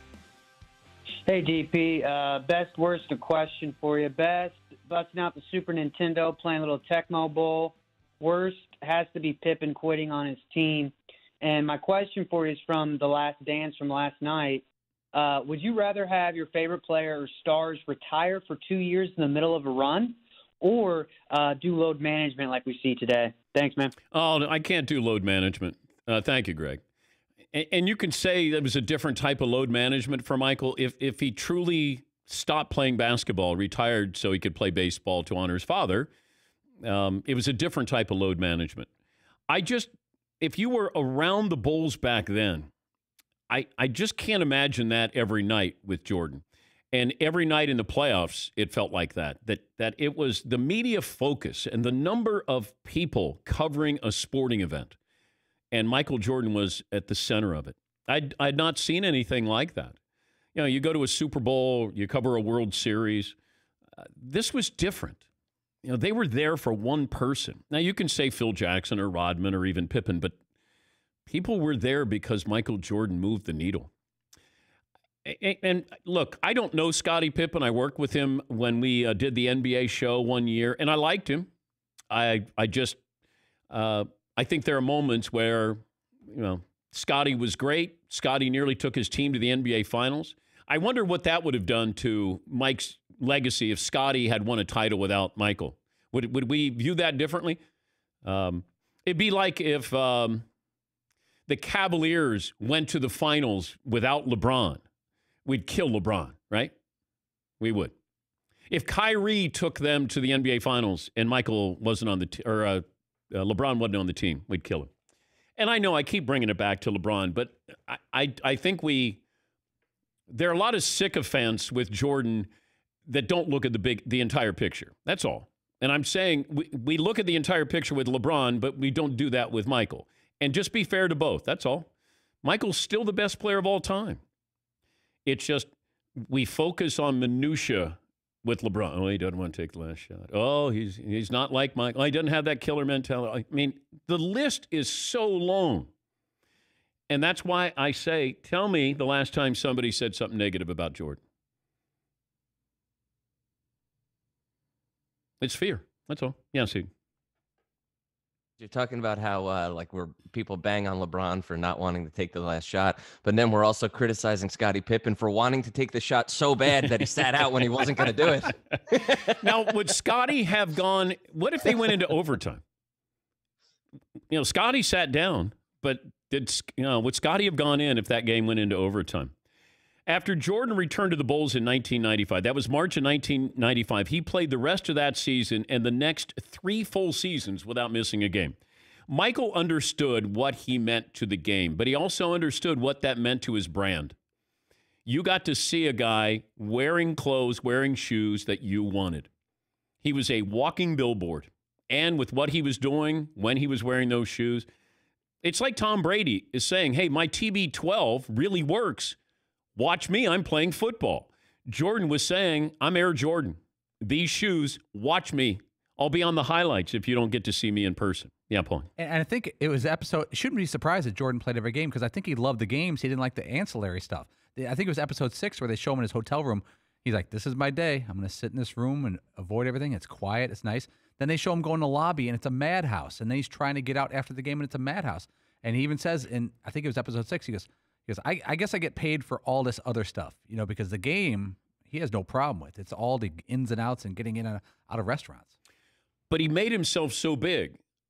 That's you know, you if I said to him when he was starting out with the Bulls or just starting with Nike, and I said, Hey, you're gonna be a billionaire, you're gonna pay a price, you're gonna be a worldwide brand, but your privacy is gone. Are you willing to sign up for that? And I'm sure he would say, Of course. And then you get into the throes of it and you go, Oh my God, I, you can suffocate inside. Uh, Scottie Pippen, winning percentage, Michael Jordan, regular season without Scottie Pippen. He won 52% of the time. Regular season with Pippen, almost 75%. Jordan in the playoffs without Pippen, won two of 11 games. Jordan in the playoffs with Pippen won 70% of his playoff games. You can't argue the value of Scottie Pippen. He knew his role. And that's that's the hard part. It's when you have stars and all of a sudden you're going, am I better than him? Should I be better than him? And and when you get that, you know, Shaq and Kobe went back and forth you know, McHale realized he wasn't Larry Bird.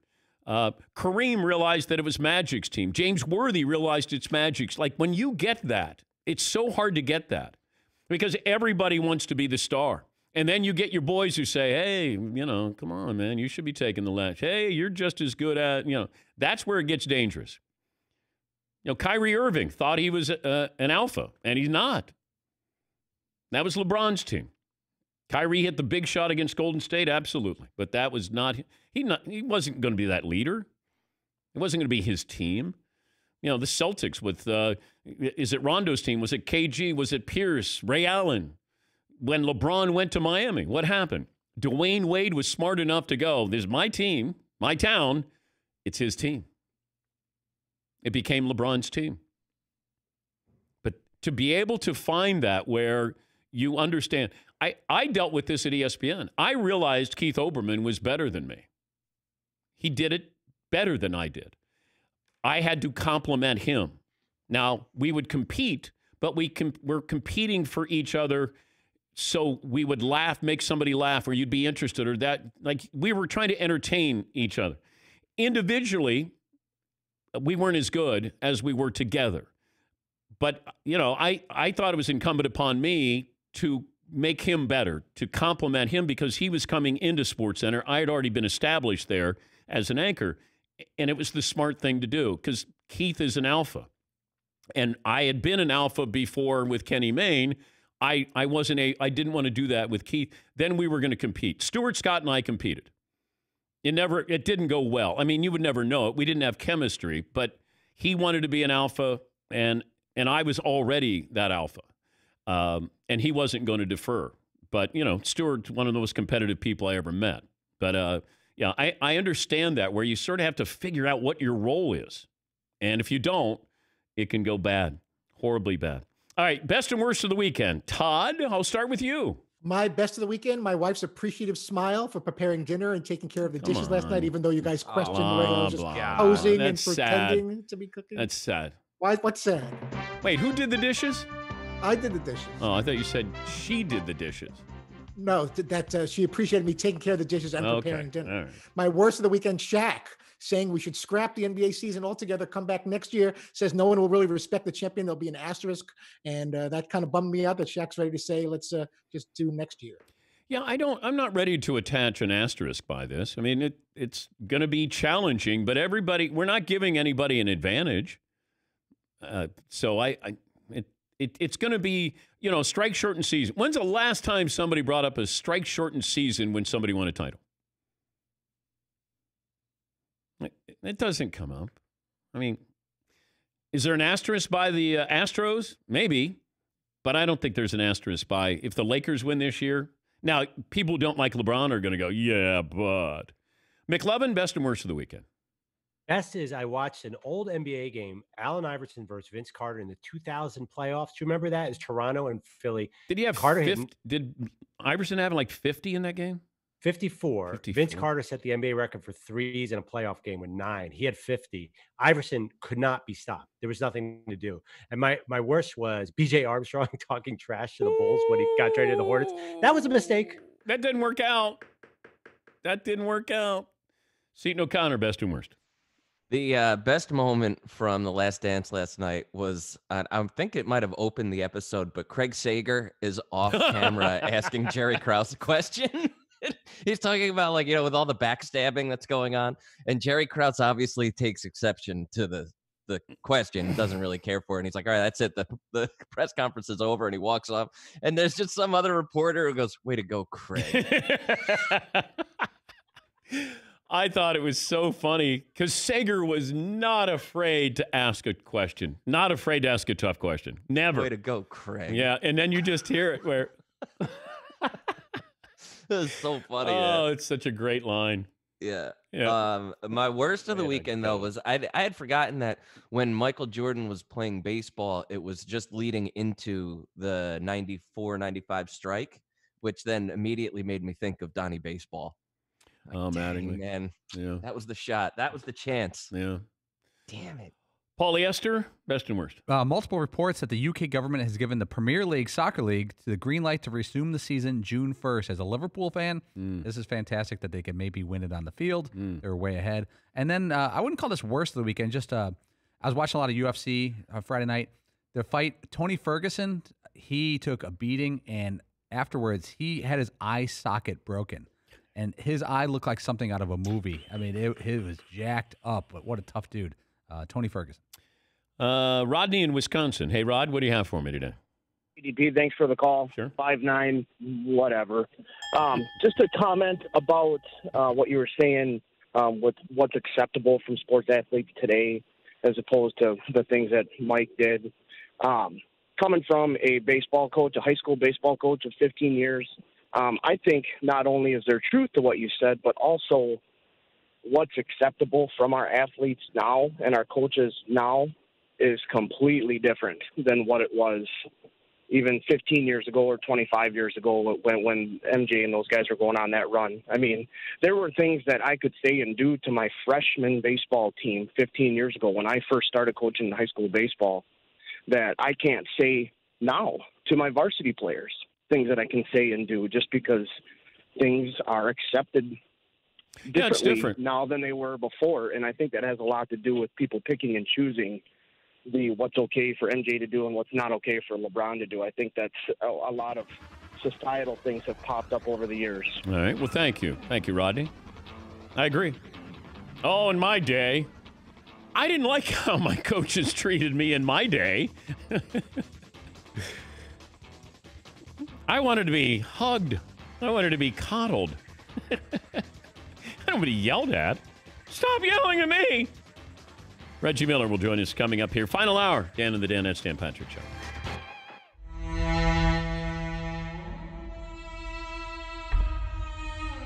Todd is not afraid, and that's one of the great things about him in that job. It's you have to be willing to hear no. And Todd hears no an awful lot, whether it's from our potential guest or his wife. He hears no quite, quite a. It's amazing. I got I got no uh, I got no comment from You, yesterday. you got uh, maybe a better chance getting the commissioner on than you do It's at the maybe something le- it's a with your wife. Same frequency, least. same frequency. yes, he. Not only is Todd um, not afraid, he's also not aware.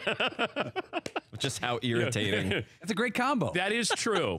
you you you don't have the yeah you Unafraid and probably- unaware. Yeah, The Todd Fritz story. Unafraid, and unaware. I'd unaware. like to think we, we haven't lost a guest because I was too much of a pest. If they just, you know, if they give me an honest answer and, you know, they're not available and it's not nothing personal against you and they just can't, can't do it or won't do it, just let, give us the, the reasoning and we'll move on. I'm not going to every other day keep asking for someone that has continuously, you know, said they can't come on. Well, you have. I have, but I- but they- I I have a break in the action, so I'm not harassing them to the point where they're just. They I know. I. I love that you do it. I couldn't do it. I even cringe when I read your email where somebody says no to you that they they can't come on or don't want to come on, not available. Well, I like to play dumb a little bit, so no for the second hour, but he, can- he can do something in the final hour. But maybe tomorrow, though, to, the next No, day. I, I look. I commend you because you go into battle, and uh, you know sometimes you come out and you're wounded. Yeah, Paulie. What if we cut a deal with some of these places, like the Cowboys PR people? If you provide Jerry Jones Tuesday of next week, Todd will never ask again. Again? Well, because we we're 0 for the last 12 years with Jerry Jones. If you get one more, then we could be 0 for the last whatever five or six years of the show. We're fine with that. Or maybe if we pay him because he's got Mm. the, he's got that uh, Tuesday gig on the fan in Dallas. We don't pay. I know, but maybe then we could get him once a week. Would be great. I'd love to have Jerry on. Yes, McLovin. How about Stevens? Seems actually a, a little better than Jerry. No, oh, no, no, no. I yeah. got to have Jerry. I mean, we've asked for his son, but no, I. And now it's to the point where it's kind of humorous, where you just go, you know what? Hey, Todd, why don't you reach out and see if Tiger wants to join us? He's got a new book out. Maybe he wants to join us there. Yeah, McLovin. One time at the DirecTV uh, Celebrity Beach Bowl, they asked Todd, "Hey, can you go ask J Lo? Oh, she would come on." He blew through 14 bodyguards and like elbowed them out, went right up to J Lo and asked, Well, it was on the rundown, so I assume this somehow, some way has to happen. It it said, you know, this is like the point where the interview comes with Jennifer Lopez, and like this bodyguard pretty much shoved me out of the way, and I got around him and went right up to J Lo and said, "So." Yeah, but it was agreed upon. That was the thing. So her people agreed to it. Todd goes over and says, "Hey, uh, you know, you're going to do the interview. Come on with me." And he was, you know, she was going to walk over with Todd, and then all that's of a not, that's not happening. So not doing no interview. But he was so fearless to go in these bodyguards. Like the guest is the number one. Pri- He's like the Secret Service would take a bullet for the president. I pointed- He would take a bullet to get a I guest. I pointed to the script for J Lo. I had a split second. I pointed to her name on the script, saying, "This is see. This says you're supposed to do this." She ain't doing that. You guys gotta get out of here. She ain't doing that. She's not doing no interview. Uh, I, I do. I give you a lot of credit because you you're not afraid.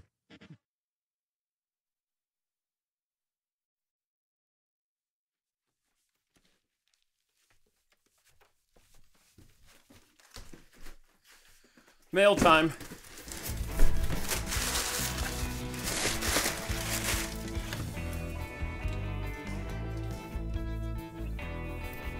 Knuckles sandwich t-shirts and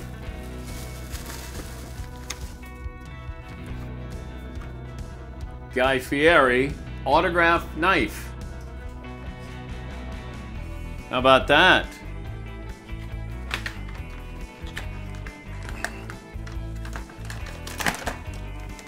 That is that is a knife. So it's got guys autograph on there and Dan you the man guy. And then I don't know if this is the protective covering for said knife. I don't want to cut myself here. What could go wrong? No. No. No. Hmm. keep cool guy. Maybe. Now this is this is when. Oh, did you hear what happened to Dan Patrick? Yeah, he cut off his hand, but he did it with a Guy Fieri knife. Thank you, Guy.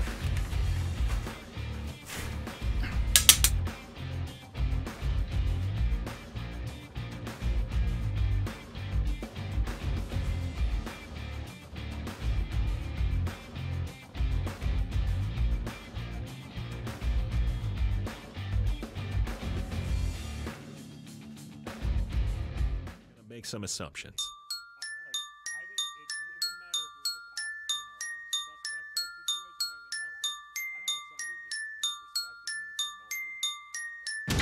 Welcome to the Dan Patrick Show. Give me a chance here. Go in, soak it up. Bring in Sal Paolantonio, ESPN's national correspondent. Bringing you the biggest guests and best interviews. I said, give me two teams that are going to surprise being better, two teams that will surprise by being worse than what we think. All right, let's go with the Pittsburgh Steelers. They have Minkah Fitzpatrick, Defensive Player of the Year candidate without a doubt. They're going to make the playoffs in Pittsburgh. I think the Jets are a team hmm. that could put it all together very quickly under Sam Darnold. I think worse than we think. I'm going to go with Arizona Cardinals will get worse. I think the Houston Texans. I think the Houston Texans will take a step back. Broadcasting from the Mercedes Man Cave, this is Dan Patrick. Well, we made it to the final hour on this Monday. Dan and the Danettes, Dan Patrick Show. Glad to have you on board. Reggie Miller will stop by in about 20 minutes. Talk about the last dance. A couple of interesting moments there. You got to see those basketball games on the set of Space Jams when Michael had the Michael Jordan Dome built, and they had those pickup games, and those were real. That was serious stuff. Reggie, of course, took part in that as well. So, Reggie will join us uh, coming up here in a little bit. Zion Williamson has become the focus of the, the latest college basketball scandal. He's accused by a former marketing agency of taking improper benefits and accused of taking money to go to Duke. Now, it's a serious case, or at least it sounds serious, but recent changes in college sports makes it a little hard to be too alarmed here because we're getting closer and closer to the accepting of these benefits or you know like Reggie Bush USC wouldn't have been punished for Reggie Bush. And if you pay back the loan you know I, so I don't know where what is fact what is fiction with this but people want these athletes to get paid it feels like or you should be able to benefit off your likeness. There's only a couple of players who are going to be able to do this. My problem is, you know, how far does this go? How deep does this go? How much money is, you know, do they cap the amount of money you can make? I mean, there's so many questions I have with this. But if Johnny Manziel wanted to capitalize on his likeness, go ahead. Tim Tebow wanted to capitalize, go ahead. Zion Williamson, go ahead. Money is going to be there for certain players. It just is. The shoe companies are involved in this. That's why you can remove a coach from this. Now, you might have to have an assistant coach take a bullet here, but the head coach can go, oh, I don't know anything about it. Like Rick Pitino could say, I don't know anything about paying a recruit $100,000. Now, his assistant coach might, but I'm assuming you probably have to get some clearance there. Hey, how did we get this guy? I don't know. Just showed up magically on campus. You know, we can have outrage here. And and maybe, you know, Zion Williamson got improper benefits. Do I think he did? Yes. But do I care? No. I know that you're going to say, well, boy, that kind of uh, not exactly the puritanical approach we expected out of you. I, I just I know it happens, and they they have shoe companies that are aligned with certain schools. You're going to push them into those schools. I know it happens. Probably happens a lot more than we think. And if Zion was going to sign up as a Nike client, Duke and Nike, like you just use common sense with this. If one of the assistant coaches at Kansas is on record as saying, hey, Zion's people want some money and they want jobs and housing. Okay, that's Kansas. And they're under suspicion with this. But, you know, I, I don't I don't know if people are going to get upset about this. I don't know if the average basketball fan is going to be upset about it. I don't know if it leads to Mike Krzyzewski or not. I have no idea. But do I think that the shoe companies steering kids towards schools? Yes, I do. Yeah, Paul. I, I do think, though, I read over the Zion story, and it's an accusation, and there's a long way to go before it gets uh, real and the NCAA involved. But I think a lot of people, sports fans out there, may think, I wonder if the school he went to would get the same coverage that Louisville went, got, that Memphis got, that Kansas gets, that uh, Calipari gets when his name is thrown apart. I want. I'm just curious if big sports networks cover Duke the same way. Well, we don't. But there's a reason why we don't. The other schools that you're mentioning, there is a little bit of a track record here. Um, you know, had this been at Kentucky, this would have been a John Calipari story.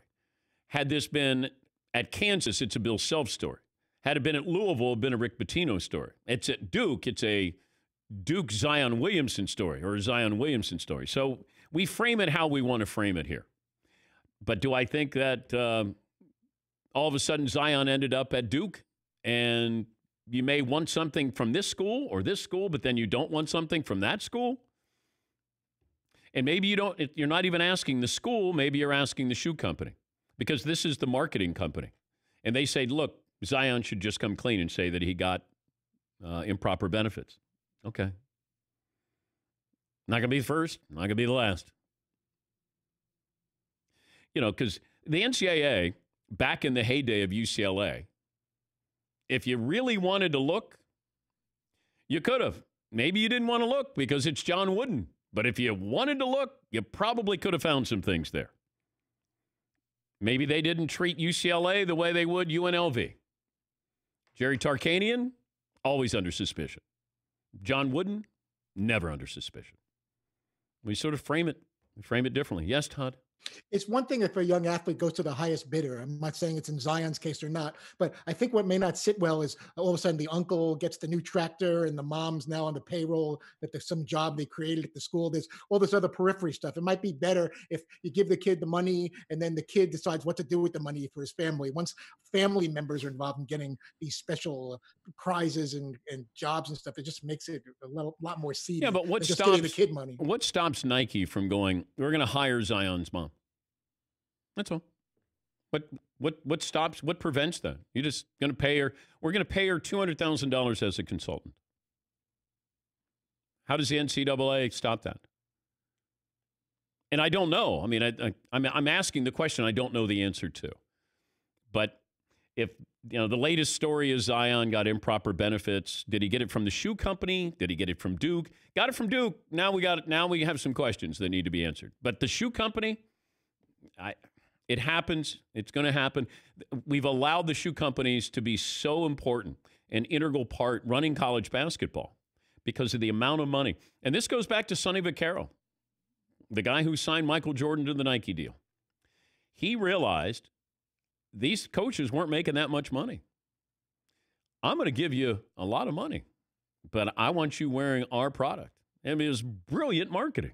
Brilliant. And we forget all about that. But that's how it started. Sonny Vaccaro got the Big East and got all those coaches, and all of a sudden, everybody is wearing Nikes. And the importance, and then the Big East blew up, and now you had to have your Nikes there. Then you bring in Michael Jordan, and then the rest is history. Yes, he. Why are college basketball coaches paid by shoe companies? Yeah, well, that's that's been uh, a question that's been asked, and I don't know if we ever, you know, does the chancellor, the president, you know, why does he allow that to happen? Right. You know, because should you you get a salary, you know, now you're getting an endorsement, but the kid can't get an endorsement, but the coach can. Yeah, Paulie. It is interesting. The guys we've been talking about are the, are the players that should most have been paid for their work. Johnny Manziel put A&M on the map more than they've been in 30 years. Reggie Bush did the same thing for USC. Zion Williamson carried the entire sport of college basketball. 31 nationally televised games. If anyone, that's I think will there be no outrage because when you look at Zion Williamson, you're like, man, I'm I'm kind of glad he got paid for his time in college basketball. He entertained us and he took the risk and almost hurt his knee and and he was on 31 national TV games. Yeah, I'm really shocked anymore where I go, well, I didn't think that would happen. Like there's certain things that if you said Cal Ripken Jr. or Derek Jeter did steroids. Okay, I'd be surprised. But there, there aren't many moments where I go, "Nah, I didn't see that one." Well, I'm shocked at that because you, if you've been around long enough, people either talked about it, they've done it, they've hidden it. It just these things have happened. And the amount of money that's involved in this with college football and college basketball, what coaches make, and coaches are the stars in college basketball because players change, coaches stay the same. But they're the ones that make the money. They make the big money here. I also saw a long article. It uh, is written by the former GM Mike Lombardi. He wrote for The Athletic. And he says Cam Newton is too good to be a backup, and that's his problem. Now, he talks about uh, that don't ever think NFL teams always make the common sense decisions or don't have personal agendas in place to prevent them from making smart decisions. Take the Chicago Bears, for example. They traded a fourth round pick to Jacksonville for quarterback Nick Foles. They now inherit Foles, a contract that had $17 million in guaranteed money in 2020. They moved the guarantee into future seasons. So, in essence, Foles gets all the money owed to him Bears get some relief. With the cap relief, the Bears get a less threatening quarterback challenger to incumbent Mitchell Trubisky. Cam Newton would walk into the Chicago locker room and every player on the team would immediately feel, quote, he's the man. There would be no doubt. From day one, Newton would endear himself to his teammates, leaving Trubisky with zero chance to compete, which is not what the Bears want. They want to challenge Trubisky, but only in a kind, polite way. By the way, if Foles isn't the starter, the Bulls will have themselves a very expensive backup with guaranteed money because of the way the structure they structured his deal this year and next. So the Bears could have easily taken Cam Newton instead of Nick Foles, yet they chose comfort and familiarity. They did not choose the better player. It's Mike Lombardi in the uh, Athletic. By the way, my Jags are officially tanking. They brought in Mike Glennon as the backup to Gardner Minshew. It's official. it is official. We are tanking. Because I wondered, I thought, you know what? Jacksonville, you want to push the envelope a little bit? Bring in Cam Newton. They don't want to win this year. And, and if I'm a Jacksonville fan, I get it, and I would embrace it. Let's be bad. Let's be bad. Let's, yes, McLovin. Have we all had a moment where we thought, wow, Mike Glennon might be pretty good? I think even you had a moment where you're like, wow, Mike Glennon could kind of spin it a little bit. No? I think when he was on Tampa, I liked him a lot. Yeah, I mean, he can throw a ball. I don't. You know. I can throw a ball. Stop with that. I did have a Mike Glennon moment, but then you realize he got he started over Russell Wilson, and that's why Russ transferred to Wisconsin. Um, yeah, Mike Glennon. He is your backup quarterback in Jacksonville.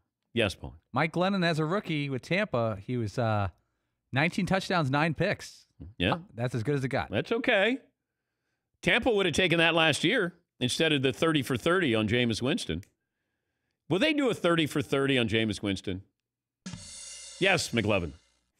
Do you remember that story where Mike Glennon was invited to the Bears draft party? He was going to be their starter, and the GM invited him, and then they drafted Trubisky, and he was standing there. I'm standing right here. Oh, and you're using a real high draft. It's not like, you know, I mean, Jordan Love is uncomfortable for Aaron Rodgers. This is where you trade up. Hey, Mike, come on in. Yeah, we got draft party. Come on in. Boy, do we have a surprise for you. And the Chicago Bears select Mitchell Trubisky. I think I'm going to be going now. All right, a couple phone calls, then we'll take a break. Reggie Miller will join us. Uh, Ryan in New York. Hi, Ryan. What do you have for me today? Hey, Dan. Uh, first time, uh, long, well, many time, long time, six foot combo guard. Uh, I have a best investor for okay. you. All right. All right. Uh, best of weekend, obviously, Mike. Uh, getting a little emotional seeing that uh, was was special for me. And prior to that, I think uh, ESPN played uh, UNC at Maryland. I always had heard stories about my dad telling me uh, about Len Bias. He was a bad man. Finally got a chance to see him play. Um, and a question for you: I always wondered how is he going to end up uh, on the Celtics, and how does that kind of change uh, the flight pattern, no pun intended, for Mike going through the East? uh, the Celtics already had Hall of Famers, and they were going to add uh, Len to that equation. Obviously, the tragic ending to that story, but can you talk a little bit about how that was going to happen and how you saw history uh, change? Almost. Oh, it would have been rewritten because you had Reggie Lewis who passed away. I would the the Celtics had the transition in place. It was perfect. They could have taken a little stress off Bird because of his back. Uh, McHale Parish, DJ Ainge, you had Len Bias and Reggie Lewis as well. So they lost two, you know, what I think would have been Hall of Famers. And Len Bias was that was a spectacular player. Like that when you watched, it didn't take long before you went, which one's Bias? It was the guy who was blowing right by us. See what I did with that, Todd? Yes, McLovin. I might have this wrong, but I'm reading it was a Gerald Henderson trade that landed Yeah. in that first round pick. Yeah. What? Yeah, Gerald Henderson. All right, let me take a break. Reggie Miller's going to uh, join us. More phone calls coming up. Take a break here on the Dan Patrick Show. You check things all the time email, Instagram. How about something important like your credit? Discover makes it quick and easy. Best of all, it's free. Discover's now offering FICO credit scores, the score used by 90% of top lenders, and doing so for free. Even if you're not a customer, checking your score won't hurt your credit, and you can check each month for changes. The Discover Credit Scorecard, free for everyone. Learn more at Discover, uh, discover.com slash credit scorecard. The Discover Credit Scorecard, discover.com credit scorecard, limitations apply.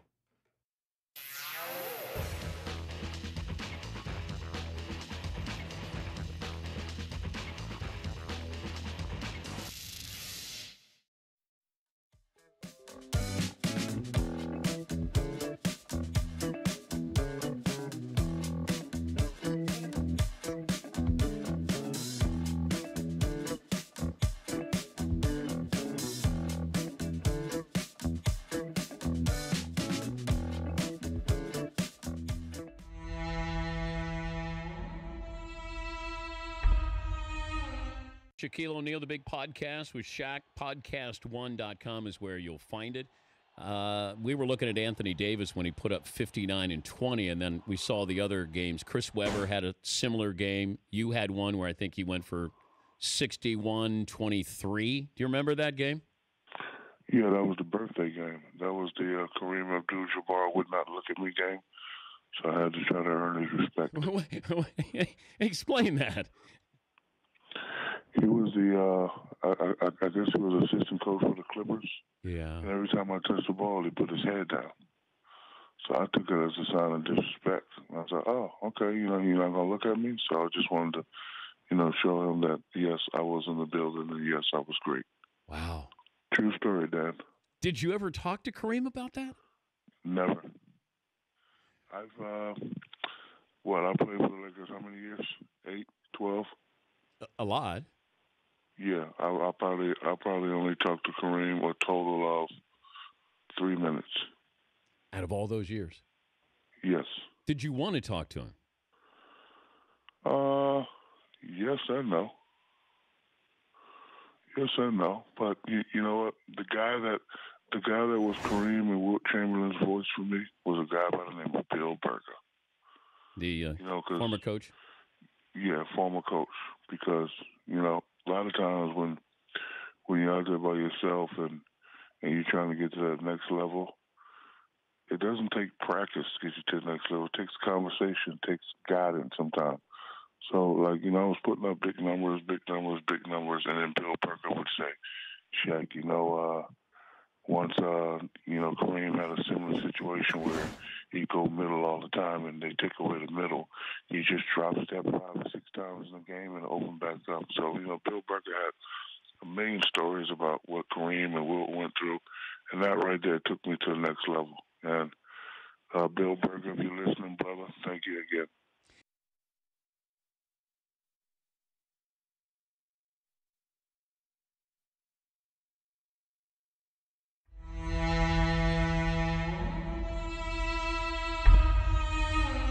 I also saw where uh, Jimmy Walker, PGA Tour player, was talking about he he slammed the USGA about possibly reducing these uh, you know the distance these golf balls go.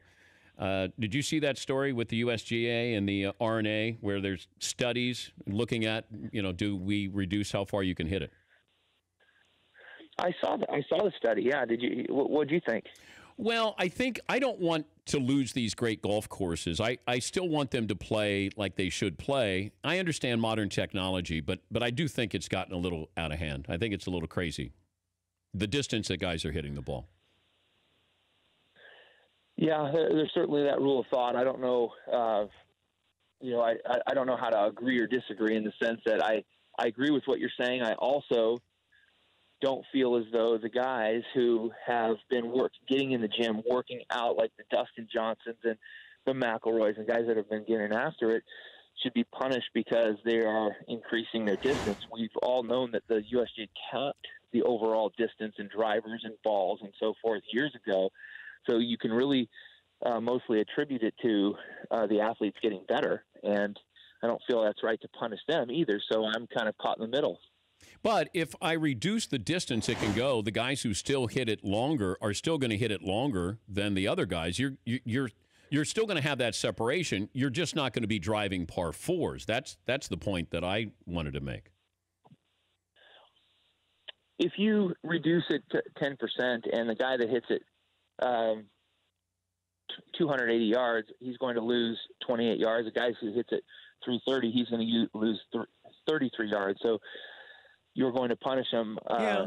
more. You're going to. Pu- But but you've played courses where, and, and I don't know if the scores are reflective of that, but you know, back in when you were 27 and playing a course at 47, uh, you know that it, it's a different course now for some of these guys, and I don't know if if that makes the game better or not. Maybe that's what the bottom line is.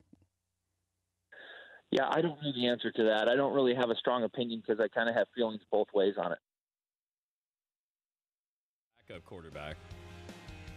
Probably mean spirited on my part. He threw 19 touchdown passes in 2013. How many touchdown passes do you think Mike Glennon has thrown since that 2013 season? The answer is 17 total. Let's bring in the Hall of Famer, Reggie Miller. Boy, Reggie has a great Sunday. Every Sunday, Reggie gets to sit down and watch Michael Jordan and the Chicago Bulls. This is the worst assignment you've had probably since you were in school at UCLA, Reg. Oh my goodness. I would take UCLA right now as opposed to this education I'm going through every Sunday. But I will say, um, you know, watching, I think it was the end of episode seven last night. MJ, you don't need to apologize. You don't need to apologize of what your DNA is because this is what I tell people. At the end of the day, the headline is not going to be Bill Wennington let us down, B.J. Armstrong let us down, Judd Buechler let us down, Steve Kerr, not even Scottie Pippen. The headline is going to be Michael Jordan. So you have to be a taskmaster. You have to whip guys into shape. Don't apologize for that. That's your DNA. That is how I was somewhat raised because I was raised by Magic and Byron Scott and Michael Cooper. Win at all costs. Absolutely. And if you don't want to fall in line, you see the door, bye bye. I don't want to hear it. And you know when Steve, it's funny because when Steve Kerr and uh, is kind of reminiscing on the fight, that's every Tuesday. That's every Wednesday during the '90s during practices. You always fought your teammates. I think it in today's age of social media, it would have been blown up. But it, that when I'm looking at that, I'm like, yeah, so okay, they got in a fight. You know how many times I got in a fight with Dale Davis, Antonio Davis? I mean, so that happens. Did you ever throw a punch? Of course, that's what fights are. What, what, you think fights are words? Yes. A lot of some pushing and shoving. I solve Okay. problems with words, Reggie. Well, we didn't solve problems with words. Afterwards, afterwards we would talk it out. But sometimes you got to have a little tough love. So what? I, I, you know, when he was, you know, got emotional about it. You know, before this doc came out, he was talking about, you know, people are going to think you know they're going to see me in a different light and they're going to think I'm a bad person. Yeah, we all know that, MJ. we all knew that. Uh, we're like, I'm like, so what? Uh, That's what made him great. I was surprised that he cared this much about being liked because I don't think Michael, when he played, cared about being liked. He wanted to be feared and he wanted to be respected. I, maybe he's mellowing a little bit here, where I don't think so. Uh, to me, if you're asking me personally, this is what I personally feel. I think that's an act. I think he can he could care less what people think. Really. wait, you I think, he- that crying last night was an act? No, that was real. Oh, okay. That was real, but I he, I don't think he cares what what people think. That's what made him MJ. That's what made him the black cat, black black Jesus. That's what made him. But when he goes to the Hall of Fame and he makes it a roast, these are all accomplished people. Like Mike never turned it off. And, and you can imagine, hey, I'm going to make fun of Scotty Burrell and Judd Buechler and Bill Wennington. I'm making fun of Hall of Famers to their Yeah, faces can't. there. He, that's why I'm saying he, he he can care less what people think about him because he can't turn it off Yeah. because it's his DNA, and that's what made him great. When he says because you've never won anything, that that's what it is. It it, it takes a level. You got to go to different and dark places, and he has. And I don't think he should apologize for that because he is the goat. Yeah. He's the greatest player of my generation, of any generation. And he shouldn't have to apologize for how he is wired um, because he brought a lot of joy to the city of Chicago and a lot of money in a lot of people's pockets, his teammates, the league. Um, so he shouldn't have to apologize for that. Are there things that I'm sure he wishes he could have said or done differently? I'm sure, but that's not his DNA. But why can't he give credit where credit is due? He gives. The, the, if there's one thing I do, there's ways like him laughing at, at Gary Payton. That was wrong. To me, that is wrong because there's ways he could have said, "Yeah, you know what? He made me work in those two games, but you know, I, I came back and gave it to, to them." The re- there's ways he he could have framed it, but guess what, guys? That's why he has six, six finals, six finals MVP, and the goat. Right? That's why he threw shade at Clyde. He threw shade at Dan Majerle. He's throwing shade at Isiah. I'm next next week.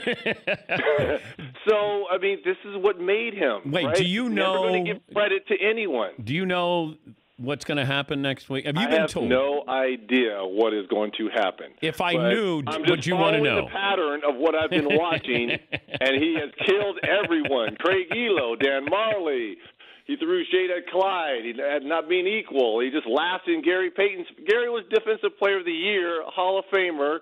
You're right. It doesn't matter. I, I think the only people he he probably hasn't thrown shade, maybe Magic, you know, La- Larry. I think he, was- you know, those guys are what helped pave the way for him. But us little minions that came after him, heck no. Oh God, I, I, there's part of me that hopes he goes after you. oh, he's going. But He's but going. but that's because you you know you got to it. Like he he only go he's going after you if you know there was really something that was going on. I mean, and that's why I want people to understand him laughing and people like wanting to like throw shade at Gary Payton. He's laughing because he knew Gary brought it, and Gary wasn't backing down. Gary's one of those dudes you can walk through an alley with, right? yeah. So he's laughing at that, but MJ knew. Come on, man. He knew. so, again, I don't know, nor do I care, but as long as he, at the end of the day, he respected me, and maybe he doesn't respect me, I don't care. I really don't. But it was fun. Are you sure? I was that he respected me or didn't respect me. No, that you don't care. I don't care. Really? It's- I don't care for you. I don't care if MJ likes me or not. Well, no, respect is one thing. Like well, whatever. So, if he does, if he doesn't, what, Okay. is that going to change my life? no. Okay, it's not going to change my life. Do you say anything negative about him? I can't remember. Truthfully, I can't, truthfully, I can't remember. I mean, it, it was a few months ago. Maybe I don't know. Paulie, would you t- would you text the director, I'm on it. Jason Hehir, and ask if Reggie said anything mean about Michael? Uh, well, hold on. Well, mean or him making up stuff. you never know. He could have. I could have said, uh, "Hey, you were a little late on that screen," and he could have been like, uh, "He's the worst defensive player of all time." He could have thought that. Right? So who knows in, in his mind what he's thinking? I mean, the whole LaBradford, because I do remember that. Any little slight, you know, he was going to use. So, oh well. Did you say anything after a game to? Did you say like good game? Or, Yes. Oh, you did. I was taught yes, but I was very young when I was a rookie, you know, and he let me know. You know, that's when the whole Black Jesus thing came up. And he was like, "Don't ever speak to Black Jesus like that." I was like, "Wait, first of all, you're referring to your you're referring to yourself in the third party by calling yourself Black Jesus." I said that to myself. I was like, "Oh, okay." Wait, wait, wait, wait. Hold on, hold on, hold on. So set the scene where Mike refers to himself in third person. I'm a rookie. Exhibition game. We're playing in one of these crazy small towns because that's where exhibition games are to kind of spread the wealth and the love of basketball. And Mike's going through the motion. You know, it's an exhibition game. Who cares? I'm a rookie. I'm going 130 miles an hour because I'm trying to show my teammates, and you're going against Michael Jordan.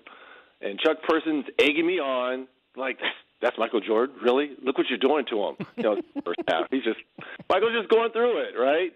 Uh, You know, I got 10 or 12 by half. He has like two or four, and I'm like, just talking to him, like, you, you, you can walk on water? That's what they say? This is it? This is Air Jordan? And he looks at me. He's like, okay. So the second half, he ends with 45. So I end with I had 10. I ended with 12. So he outscored me 40 to 2. And as we're walking off, he subtly says, "Hey, don't ever talk to Black Jesus like." and I looked at him. I was like, and I looked at Chuck, and Chuck like shrugged his shoulder. I was like, "You're right, Black Jesus." And I just kept walking off. And that's kind of what probably started our somewhat contentious relationship. But I should have known better, you know. But I couldn't hold. I can't hold my tongue. That's my problem. But do you think that he respected the fact that you went at him? We'll find out next week, now, won't we? oh God, I can't wait. I just hope that Mike unloads on you. He will. I do. Yeah, but that was my thinking. Like when people are saying, "Yeah, we we all know how that turned out," you trying to retire Michael Jordan. Is that wrong for me? Wait a minute. That should be my thinking. Yes, I would. I Now, would. I can't speak for the rest of my teammates, but that was my thinking. Like this is my this is my chance. I've got a team. I got my guys. You have your guys. You're the champs. You're Michael Jordan. I do want to retire you. God. It didn't happen, but that should be my thinking. You guys should have won. You you you guys. Stop it. You're gonna make it hurt. That was it a, hurt. you guys had a great team. You had a better all around team than the Bulls did. It hurts. It really does hurt, and more so, Game Seven too in their place because it was all set up. I mean, we're up six. See, this is how well you know it because you read. People always say, "God, you made so many great moments." It's not the great moments I relive; it's the hurtful ones that are on rewind in my brain. We're up six. That jump ball between Scottie Pippen and seven four Rik Smits, and it's on their side. If we win that jump ball, oh. because it's on their side of the court, if we win that jump ball, go down the score. We go up eight with like under four to go. You can start massaging the game by then. Yeah. They win the tip. Scottie wins the tip. The ball finds its way to Steve Kerr. He knocks down a three, and from six to three, and it was like a snowball effect after that. We it we just couldn't hold on, and I just relived that moment over and over. If we could have won that jump ball and scored and just put more pressure on, not to say we would have ended up winning, but it it makes it a little bit more difficult. So yeah, it's it's the hurtful moments you remember more. Are you sure you're going to be emotionally ready to talk about this next Monday? Yes, I'm. It, it's good to to talk it out, especially with family like yourself and my Danettes. It's good. It'll be good. Wait, what's I'm your glad- what's I'm your wife think I'm about glad this, people Reg? get a sense. I'm glad people get a sense of how competitive things were in the '90s um, and the '80s, really late '80s. But to have a camera and see him, see him going off, and if if, if people can understand, that's nothing. that is absolutely nothing. What he was, how he was railing off on his teammates. That's nothing, guys. That is that's easy trash talk. If you could understand what goes on between games, oh my God, people, that is nothing what you're seeing. Do you need an emotional support dog? I need something. I really do. It, it's good because you know I'm I'm sitting, I'm watching this with Mama Bear, and I tell her, go sit on the other side of the couch because my my palms sweaty because, and then when the the commercials come and she's looking at me, and you know I got like sweat coming down. She's like, "Are you okay?" I'm like, "No, I'm not okay," because it brings back it it brings back those memories, good and bad. And uh, I'm excited about next week because I know he's going to kill me, but I'm going to take it as a badge because he's gone after everyone else in this docu series, so you might as well come after us. Um, You should wear your full uniform next Sunday you know night. what? I'm going to try to. I have to have some uniform. I am. I'm going to take some pictures. Get your yes, yes. Get your And, sweatbands uh, on and I am. full, full uni. I never wore a headband as a player, but if I can find a headband, I'm going to put a headband on, and I'm going to watch. I am going to watch this in full garb. Yes, I will. Oh, that's good. Uh, hey, before I uh, let you go, Shaq says that um, we shouldn't have a season because nobody's going to recognize this year's champion as a true champion. What do you make? Uh, I think they will definitely recognize it, but I do agree. I, I think we're getting to that point where we may need to just scrap this and, and start anew uh, next year. I- I, just don't see any positive things coming out of restarting this. We're two months in now, right? Yeah. Uh, I think we'll get a lot of injuries once we come back because guys are going to try to. They they won't train right, and you you see a lot of these injuries at the start of the season because guys are not in shape. Um, I, I just don't see any benefit from it. Um, so I, I think if there we do resume play and there is a champion, there won't be an asterisk behind it because it's still the championship, just like the lockout year when San Antonio won and Phil Jackson was saying there's going to be asterisks. No, you, you ended up winning the championship. You'll be recognized as that. But I do agree with him. We, we should start really looking at, at next season and just starting fresh. Well, you know, leave it to LeBron to win this year so then people have more of an argument that it doesn't really count as a championship. You know, with this whole Jordan phenomenon going on, it would just it would be so LeBron like to win and then have people hold it against him. And not only that, let's say they do scrap the season and we start again next year in October, November, December, or whenever they think about starting again. LeBron's a year older now, too. Yep. That's the only thing. And he didn't. He was having an MVP. He wasn't going to win the MVP. To me, that was Giannis, but he was one A and one B. He was going to be second in the MVP voting. All right. Just get ready. Like gear up Sunday night like you're gearing up for a game. Um, uh, What music did you listen to in the locker room before games? Tupac. Oh. I was a huge Tupac fan. So right. yes. All right. All eyes on me. So I'll probably be having that uh, as I'm in full Pacer gear, and uh, it's ready to go. All eyes on me. and a guard, out of UCLA, six foot. Are you six seven or six six? Six seven. Six. Give me my inch. He was six six. I was six seven, but it didn't matter. Oh, I can't wait. Uh, oh my God! I'll- Y'all are gonna kill me next week, but it's gonna be so fun. It's gonna be so fun. Thank you, Reg. I'll talk to you next Monday. Y'all the best. Oh you, man, this is going to be so good.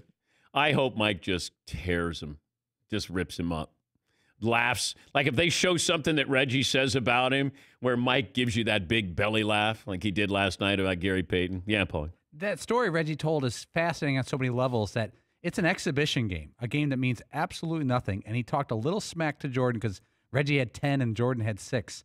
Then Jordan ends up with 42 to 12 and says, don't ever try that with Black Jesus. I know- I know. I didn't know that he called himself Black Jesus. Once again, we criticize LeBron James for being King James. He's calling himself Black Jesus.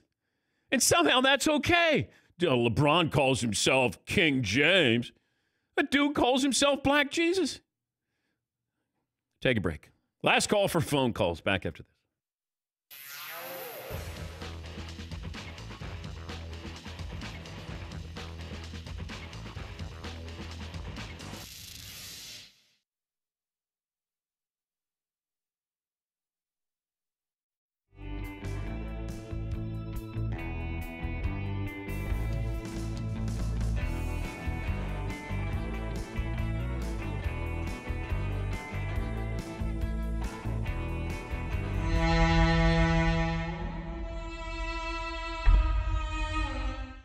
People say on the street when they see you?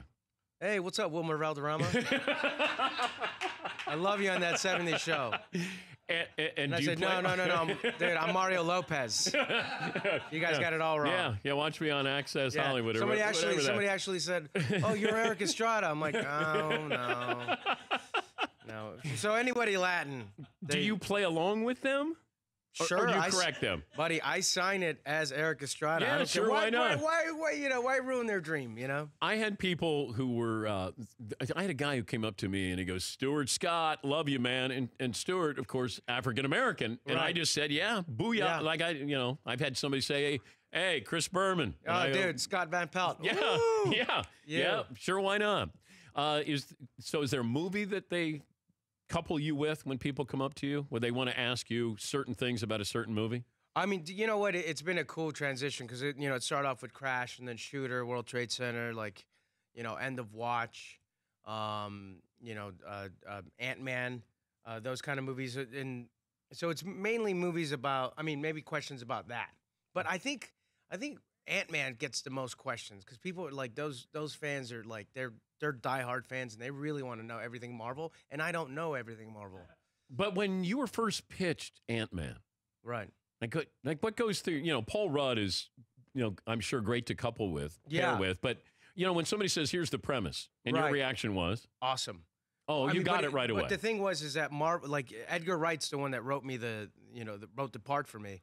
Um, and so someone from Marvel comes, and instead of you saying like, "Give me the weekend to read it," the guy was standing outside of my hotel room while I was filming Fury, waiting for me to finish the script. And I'm a slow reader, so it took me like four hours uh, because there's so much description, you know, in those kind of movies.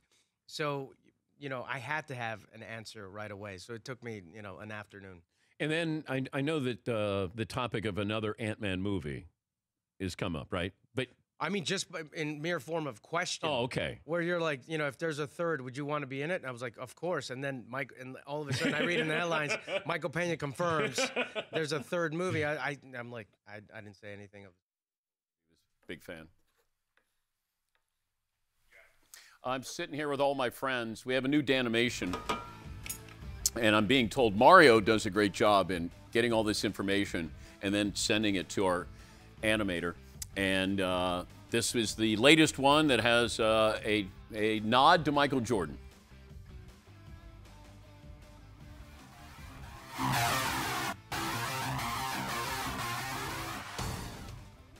As an entertainer, sometimes you're able to pinpoint that moment. That moment where you think you want to do this for a living. Watching Dan that day, that was it for me. We've wanted that to happen for so long, and it finally worked out. Hour one, Michael Jordan right here in studio. The one we've been trying to get for years. I mean, more than a decade. Dan wasn't going to waste this shot. Well, you could tell Dan definitely wanted a piece of MJ. Piece of him? I wanted the whole damn thing. Yeah, we did it live on the show. It happened right here. Jordan's got the ball first. Dan slaps the floor and then goes for it. Dan steals the ball from MJ and spins. And then, like Mav and Top Gun, Dan hits the brakes, Jordan flies right by, and then, bang. Man, drop the hammer. Dan Patrick dunking on Michael Jordan. I think that's where Do You Believe in Miracles came from. Dan dunking on Jordan, I had that poster on my wall growing up. DP couldn't help himself. He had to step right over MJ and talk some smack. I couldn't believe that. You reach, I teach. I told Dan that before. And then he's going to use my line on Michael Jordan? Are you kidding me? You knew you were seeing something special, something you've never seen before, something you never see again. What? No. No. No. Damn it. It's hey, it's a real. It's true. I'm s- I'm sleeping in my glasses. Some good cameos there. Ooh. Did you turn off the heat? I didn't. Dylan, will you uh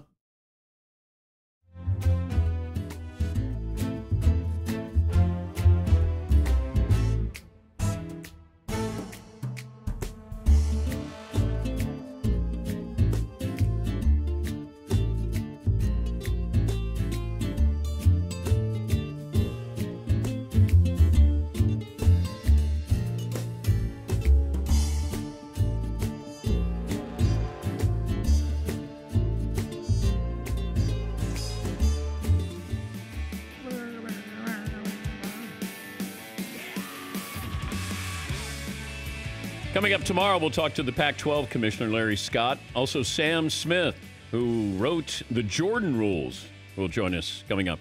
Got a scoreboard winner, Ryan in New York City. The numbers are 31 and 5. All right, Todd, you want to give a hint on. sure. 30? Okay. Okay, the five has to do with uh, major frustration, one left. Major frustration, one left. All right. And the 31 is not Reggie Miller's jersey number. Okay.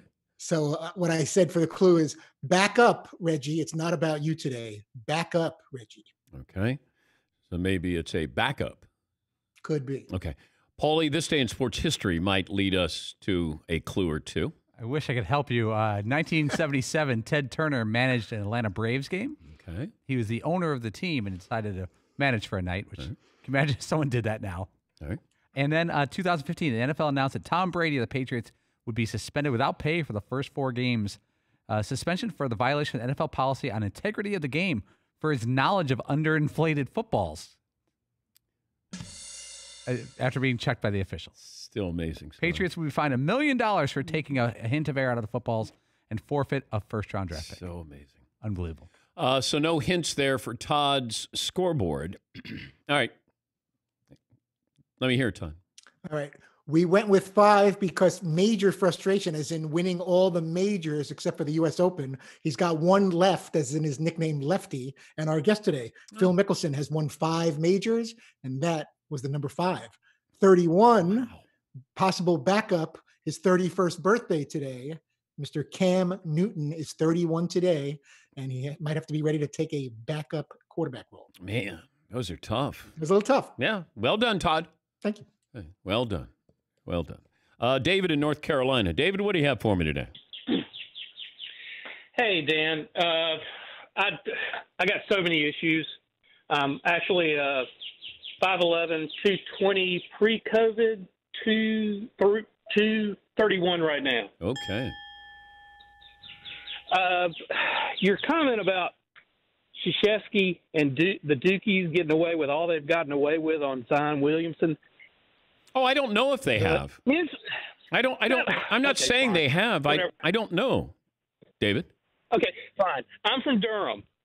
Uh, I went to Chapel Hill, um, class of '83, so I was there when Mike was there. I know, Roy- I, you know, no. Anyway, I hate those guys that say they know people. anyway, uh, my problem is our football program and our basketball program was obliterated for five years based on nothing. The NCAA couldn't even press charges on it. And for you to, I love your show, love you, always have, but for you to sit there and just say, you know, it's no big deal. Hey, Hey, they, no, they no, no, David, David, you got to understand. You're so close to it, and I am so removed from it. And if they nail Duke, nail Duke. I, I it doesn't matter to me. I don't care if Carolina did it. If you get caught, you get punished. uh, Okay. I I love talking to Coach K. If Duke gets banged here, okay. Not the end of the world to me. I'm not saying let's let, let's not cover this because it's Mike Krzyzewski. I mean, if that was the case, I wouldn't even bring it up today. But I can't sit here and go, boy, that would never happen. I can't say that. As much as I love Roy Williams, I you can never say it won't happen. It happened to John Wooden. So I'm I'm not naive here. You're upset because your basketball and football program got hit hard by the NCAA. Okay. If Duke gets hit by this with the Zion Williamson, it's okay. Yeah, we'll move on. Thanks for the phone call. Decompress a little bit here. You're too close to it. Go heels. Yes, McLovin. Has any team ever had more penalties and less wins in North Carolina football? Not to pour salt on David's wounds. As you're going to, And also, they had like 10 first round picks. Oh, and Oh, I I, don't know. remember them ever being in a major bowl game. I know. Nice uniform. Yeah. You don't remember the heights that Mitch Trubisky lifted to them No, to I do a couple not. years ago? No, I do not. Google it. No, do I? I do not. Uh, Dan in Chicago. Hi, Dan. Hey, Dan, a couple of things for you. Uh, one, if there were to be an 11th episode of The Last Dance, I want it to be Chappelle's show, Rick James Prince themed, where Dave Chappelle's Prince, you got Reggie telling the Black Jesus story, and just that's what I would want to see Okay. with the 11th episode.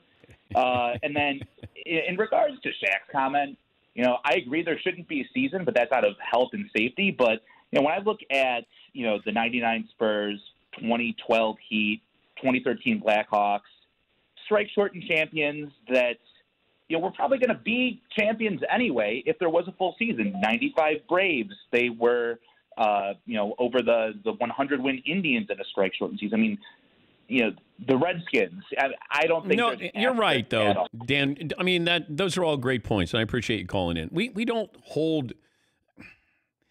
We're gonna if if the Lakers would win a title this year, just because it's LeBron, there would be an asterisk by this. Trust me when I say that. If if Kawhi wins in the Clippers, it's not going to be an asterisk. If the Bucks win, it's not going to be an asterisk. If LeBron does, just because it's LeBron, that's all. But I appreciate that phone call.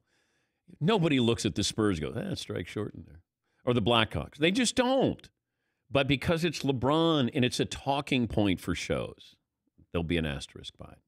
Yeah, Paul. And Dan, and vice versa, if the Lakers come up short in some type of like shortened playoff thing, they'll critique the Lakers and LeBron for saying you had a shortened playoff where you had to win a fewer amount of games and you couldn't win there. Yeah. It, it's just it's LeBron. It's uh, it's open season for LeBron, and I don't want anybody to misconstrue what I'm saying about Zion Williamson. If Kansas has an assistant coach on record talking about uh, Zion's stepfather wanting benefits or wanting uh, money, whatever it is, and then he ends up at Duke, does he then go to Duke and then they don't ask for anything? You know, Cam Newton in Mississippi State. And remember there what was the uh, 175 grand? Like so then he he didn't take money when he went to Auburn? Or did they just hide it better? Like I I just apply logic and I know it's dangerous in this world that I work in. I just apply logic. And that is illogical. Oh, he's going to take money, but then he's not going to take money. Oh, okay. But just from Mississippi State, not from Auburn. Okay. All right. Yeah. Let's go around the room. Uh, McLovin, I'll start with you. Uh, final results of the poll question. Does the documentary make Michael Jordan look less likable or more likable? 70% say more likable. Okay. Hey, it's a whole new audience that's consuming this. And I love that. I love that there's a whole new audience that's watching this because we tend to make these statements and we didn't see the player play. And I always say, see the player play, read about as much as you can before you make an argument. And if you feel that way with Mike, great. I love it. More information, the better. Uh, what did you learn today, McLovin? I learned that Reggie says he doesn't care what Michael says about him. We're going to find out next Monday. Fritzy. Uh, Phil Mickelson once caught a hard thrown pass from Brady in Augusta when it was half dark out two weeks before the Masters, hoping not to break a finger. That was a good story. by Mickelson. Seton O'Connor. Phil Mickelson has a T Rex in his office. Yeah. Hmm, Who doesn't? Paulie? Mickelson says uh, uh, Peyton Manning, great trash talk. What we learned brought to you by LegalZoom. No matter what happens, you want to make sure your loved ones are taken care of. That's why LegalZoom's made it easy to set up the right estate plan without leaving your home. Take care of your family today with the right estate plan at LegalZoom.com. Thanks for the phone calls, emails, tweets, all around support. Do it again tomorrow. For Seton Paulie, Fritzy McLovin, yours truly, this has been The Dan Patrick Show.